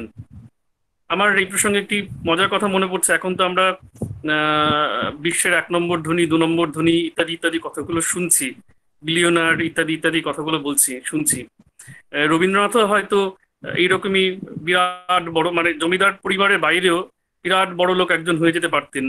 রবীন্দ্রনাথের নোবেল পুরস্কার পাওয়া যে বইটির জন্য, গীতাঞ্জলি, সেই বইটা জার্মানিতে, প্রথমে জার্মানির প্রকাশক ছাপাতে চায়নি, কিন্তু ছাপানোর পর বিপুল বিপুল পরিমাণ, পরিমাণে সেই বই বিক্রি হয় এবং প্রচুর প্রচুর জার্মান মুদ্রা রবীন্দ্রনাথ অর্জন করেছিলেন। কিন্তু দুর্ভাগ্য যে প্রথম বিশ্বযুদ্ধে জার্মানির পরাজয় ঘটে এবং জার্মানির যে টাকা, সেই টাকার এত অবমূল্যায়ন ঘটে যে রবীন্দ্রনাথের সেই টাকা পয়সা খুব একটা কাজে লাগেনি। যদি রবীন্দ্রনাথের হাতে সেই টাকা পয়সা আসতো, তাহলে আমরা হয়তো দ্বিতীয় কোনো বিশ্বভারতী এবং শুধু বীরভূম নয়, শুধু মানে হচ্ছে ওই মানে হচ্ছে রাঢ় অঞ্চল নয়, আমরা হয়তো সারা পশ্চিমবঙ্গ বা ভারতবর্ষ জুড়ে রবীন্দ্রনাথের অর্থনৈতিক কর্মকাণ্ড দেখতাম এবং প্রান্তিক মানুষদের, প্রান্তিক কৃষকদের আমরা হয়তো উন্নয়নের একটা জায়গা দেখতে পেতাম। যাই হোক, আমাদের দুর্ভাগ্য। আজকে বড় বেশি রবীন্দ্রনাথের কথা মনে পড়ছে এই কারণে কেননা সময়টা খুব একটা সুখের সময় নয়। আমরা যে সময়ের মধ্যে দিয়ে যাচ্ছি, আমরা বুঝতে পারছি মৃত্যু নিঃশব্দে আমাদের দরজার বাইরে হামাগুড়ি দিয়ে সে উপস্থিত হয়েছে বা হবে হয়তো। আমাদের মাস্টারমশাইদের মধ্যেই অনেকে আছেন যারা এই যুদ্ধ লড়াই করছেন, করোনার যুদ্ধ লড়াই করছেন। তারা জয়ী হয়েছেন কেউ কেউ কেউ কেউ জয়ের অপেক্ষায় রয়েছেন। আমরা আমাদের চারপাশের প্রতিটি বাড়িতে দেখতে পাচ্ছি লড়াই চলছে। এবং আমাদের রবীন্দ্রনাথকে মনে পড়ছে এই কারণে যে রবীন্দ্রনাথ শেষ হয়ে যাওয়ার নয়, আমাদের ছাত্রছাত্রীরা প্রতি মুহূর্তে আমাদের বুঝিয়ে দিচ্ছে যে আমরা কিন্তু মানুষের পাশেই আছি। ভয় নাই, সত্যি ভয় নেই, আমরা একদিন মৃত্যুকে জয় করব। আমি শেষের দিকে চলে আসব। যে সময়টা খারাপ আরও এই কারণে যে বাংলার শিল্প এবং সাহিত্যের জগৎ আস্তে আস্তে শূন্য হয়ে যাচ্ছে। গত পাঁচ ছ বছরের মধ্যে সুনীল গঙ্গোপাধ্যায়কে আমরা হারিয়েছি। এবছর আমরা হারালাম শঙ্খ ঘোষকে। সৌমিত্র চট্টোপাধ্যায় সত্যজিৎ রায়ের একশো বছর চলছে মানে শতবর্ষের সত্যজিৎ রায় পদার্পণ করলেন। তার নায়ক অপু, সত্যজিৎ রায়, সত্যজিৎ রায়ের অপু মানে হচ্ছে সদ্য প্রয়াত। মারা গেছেন, প্রয়াত হয়েছেন অলোক রঞ্জন দাশগুপ্ত। একে একে মানে হচ্ছে শূন্য হয়ে যাচ্ছে। বাংলাদেশে আনিসুজ্জামানের মতন মানুষ প্রয়াত হয়েছেন। একের পর এক মহিরুর পতন ঘটছে। এই করোনার ক্ষুধা যে কতজনকে গ্রাস করবে আমরা জানি না। ঠিক এই সময় দাঁড়িয়ে আমাদের শপথ, যারা চলে গেলেন, যারা তাদের আলোর মশালটি বহন করা দায়িত্ব আমাদের মতন মানুষের উপর অর্পণ করে গেলেন। আমাদের এই অর্থে যে ছাত্রছাত্রী এবং শিক্ষক যারা এখানে আছি প্রত্যেকের হাতেই এবং সমাজে যারা যারা, যাদের নিজেদের মতন করে লড়াই করছেন শিল্প সাহিত্যের জগতে তাদের কাঁধে বড় বেশি গুরু ভার এসে পড়ল। আমরা প্রত্যেকেই লড়াই করব আমাদের মতন করে এবং এই লড়াইয়ের একটা ক্ষুদ্র প্রয়াস, ক্ষুদ্র নয় অবশ্যই, একটা প্রতিষ্ঠান যেভাবে তার মতন করে লড়াই করতে পারে, এই ভয়ানক পরিস্থিতিতে দাঁড়িয়েও যেখানে মানুষকে প্রতি মুহূর্তে জীবনের জন্য লড়াই করতে হচ্ছে, সেই লড়াইয়ের অনুপ্রেরণা বোধ আজকে আমাদের এই অনুষ্ঠান। যতই বাধা বিঘ্ন আসুক না কেন আমরা একে অপরের কাঁধে কাঁধ মিলিয়ে লড়াই করব। এবং এই লড়াইয়ের অনুপ্রেরণা যিনি প্রথম আমাদের মধ্যে জাগিয়েছেন, তিনি আমাদেরই এই কলেজের মাননীয় অধ্যক্ষ মহাশয়, প্রফেসর ডক্টর কৃষ্ণেন্দু দত্ত মহাশয়। উনি নেপথ্যে থেকে প্রতি মুহূর্তে আমাদেরকে উৎসাহ দিয়েছেন যাতে আমরা এই অনুষ্ঠান সুচারুভাবে আয়োজন করি। অসংখ্য ধন্যবাদ স্যার আপনাকে। আমরা ধন্যবাদ জানাব বাংলা বিভাগের মাননীয় বিভাগীয় প্রধান ডক্টর বিদ্যুৎ কুমার দাস মহাশয়কে। উনি ওনার মূল্যবান মতামত জানিয়েছেন। ধন্যবাদ স্যার আপনাকে। আমি ধন্যবাদ জানাব আমাদের নেপথ্যে যিনি প্রতি মুহূর্তে আমাদের পরিচালনা করছেন, আমাদের প্রতিটি লড়াইয়ে যিনি নিজে বিপর্যস্ত অবস্থায় থেকেও প্রতি মুহূর্তে আমাদের স্মরণ করিয়ে দিচ্ছেন আমাদের দায়িত্ব এবং কর্তব্য। আমাদের অধ্যাপক মণ্ডলীর মাননীয় সম্পাদক রাখি ভট্টাচার্য রাখিদি আপনাকেও আমাদের অসংখ্য ধন্যবাদ। আমরা ধন্যবাদ জানাব এই কলেজের সাংস্কৃতিক উপসমিতির আহ্বায়ক এবং বাংলা বিভাগের অধ্যাপিকা যিনি নেপথ্যে থেকে এই অনুষ্ঠানটি সামগ্রিকভাবে যিনি আয়োজন করেছেন, তিনি অধ্যাপিকা শিলারানী বসাক এবং তার সঙ্গে অবশ্যই আমি গণিত বিভাগের অধ্যাপক মাননীয় মণিশঙ্কর মণ্ডলের কথা বলব। আর এছাড়াও সাংস্কৃতিক উপসমিতির যারা আছেন তাদের প্রত্যেকেই, কমিটির সদস্য যারা, প্রত্যেকেই আমাদের তরফ থেকে ধন্যবাদ। বাংলা বিভাগের মাস্টারমশাইদেরও ধন্যবাদ। এই এই উপলক্ষে হয়তো আমিও সামান্য একটু ধন্যবাদের ধন্যবাদ পাবো, কারণ আমিও বাংলা বিভাগের অধ্যাপক। যাই হোক, কলেজের, এছাড়াও কলেজের সমস্ত সকল অধ্যাপক, অধ্যাপিকা বৃন্দ, তাদেরকেও ধন্যবাদ। তারা তাদের মতন করে লড়াই করছেন এবং আমাদের এই এত ব্যস্ততার মধ্যে আমাদের এই অনুষ্ঠানে তারা উপস্থিত থেকেছেন প্রতি মুহূর্তে উৎসাহ দিয়েছেন। তাদের বিভাগের ছেলে মেয়েদের প্রাণিত করেছেন অনুপ্রাণিত করেছেন এই অনুষ্ঠানে উপস্থিত থাকার জন্য। আমরা ধন্যবাদ জানাব আমাদের কলেজের যারা শিক্ষা সহযোগী যারা আছেন যারা প্রতি মুহূর্তে অফিসে লড়াই করছেন যারা বাড়িতে বসেও অফিসের কাজ করছেন এবং কাজ করতে করতে এই অনুষ্ঠানে তারা উপস্থিত থেকেছেন তারা শুনছেন। কেননা প্রতি মুহূর্তে তারা আমাদের পরে জানিয়েছেন যে আপনাদের অনুষ্ঠান কিন্তু আমরা দেখেছি। সেই নীরব কর্মীদেরও আমরা ধন্যবাদ জানাচ্ছি আন্তরিকভাবে। আমরা আহ, সব শেষে নয় অবশ্যই। আমরা ধন্যবাদ জানাব আমাদের ছেলে মেয়েদের, আমাদের ছেলেমেয়েরাই তো আমাদের প্রধান ভরসা, সেই ছাত্রছাত্রীদের যারা অনুষ্ঠানে অংশগ্রহণ করলে প্রত্যেককে এবং যারা শুনলে, শোনাটাও একটা বড়, মস্ত বড় কাজ। প্রত্যেককে ধন্যবাদ। ধন্যবাদ। এই অনুষ্ঠান যিনি অসামান্য দক্ষতায় সঞ্চালনা করলেন সেই আশরাফ বাবুকে। আশরাফ বাবু, অসং- অসংখ্য ধন্যবাদ। ভবিষ্যতেও আপনি নিশ্চয়ই আমাদের এইরকম ভাবেই বিপদের কাণ্ডারি হবেন, অনুষ্ঠানগুলো উতরে দেবেন। এবং সবশেষে আমি ধন্যবাদ জানাই যিনি আমাদের ধরাছোঁয়ার অনেক বাইরে, সেই গুগল মিটকে একটা বৈদ্যুতিন মাধ্যম যে আমাদের এই রকম বিপর্যয়ের মধ্যেও প্রতিটি ঘরে ঘরে আমাদের পাশে থেকে এই রকম ভাবে অনুষ্ঠান এবং আমাদের ক্লাসগুলো পরিচালনা করার সুযোগ করে দেয়। অসংখ্য ধন্যবাদ। নিশ্চয়ই মারি ও মন্বন্তরে কোনো এক সময় আমাদের আবার মুখোমুখি দেখা হবে। ততদিন পর্যন্ত অন্ততপক্ষে এই রকম বৈদ্যুতিন মাধ্যমে আমরা বারবার মিলিত হব এবং বারবার জীবন, বারবার রবীন্দ্রনাথের ভাষায় আমরা মৃত্যুকে জয় করে মৃত্যুঞ্জয় হয়ে- উঠবো। অসংখ্য ধন্যবাদ আপনাদের। ভালো থাকবেন। শুভ সন্ধ্যা। ধন্যবাদ সুব্রত বাবু। সকলকেই আপনি ধন্যবাদ জানালেন। কিন্তু আমি একটা তথ্য শুধু দিই, যে আমাদের এই সাংস্কৃতিক সমিতির আহ্বায়ক শিলারানী বসাক মহোদয়, অধ্যাপিকা। তিনি এই অনুষ্ঠানটা করার জন্য এত পরিশ্রম করেছেন, প্রতি মুহূর্তে ছেলে মেয়েদের নাম নেওয়া, কোথায় কি হচ্ছে ভুল স্মরণ করিয়ে দেওয়া, এমনকি প্রত্যেকটা চার্ট তৈরি করে আমার কাছে পৌঁছে দেওয়া, সকলের সঙ্গে তিনি সম্পর্ক রেখে নেপথ্যে পুতুল যেভাবে নাচায়, সেইভাবেই আমাদের অনুষ্ঠানটা তিনি আজকে সবটাই তার কৃতিত্বেই হয়েছে বলে আমি মনে করি। তো যাকে আমরা ফিরে আসি শিলা ম্যাডাম আপনি যদি কিছু বলতে চান তাহলে আপনি একটু বলতে পারেন। যদি আপনার কিছু বলার থাকে তারপরে আমি স্যারকে বলব অনুষ্ঠান সমাপ্তির কথা। ম্যাডাম? না স্যার আমি আর কিছু বলছি না অনেক লেট হয়ে গেছে সকলে বেরিয়েও যাচ্ছে। আপনি ঠিক আছে। বলুন অনুষ্ঠানের সমাপ্তি ঘোষণা করুন যাকে তা ঠিক আছে যে দীনেশ দাসের কবিতা স্মরণ করে বলি, তোমার পায়ের পাতা সবখানে পাতা, কোনখানে রাখব প্রণাম? তা রবীন্দ্রনাথ আমাদের সর্বত্র আছেন। পরিশেষে বলি স্যারকে, অর্থাৎ আমাদের অধ্যক্ষ মহাশয়, মাননীয় ডক্টর কৃষ্ণেন্দু দত্ত মহাশয়কে। অর্থাৎ কৃষ্ণের যে দূরদর্শিতা, সেই দূরদর্শিতার মতোই তিনি আমাদের কলেজকে পরিচালনা করছেন। যিনি ইন্দু হয়ে আছেন, কৃষ্ণের ইন্দু, অর্থাৎ চাঁদ অন্ধকারকে নাশ করে।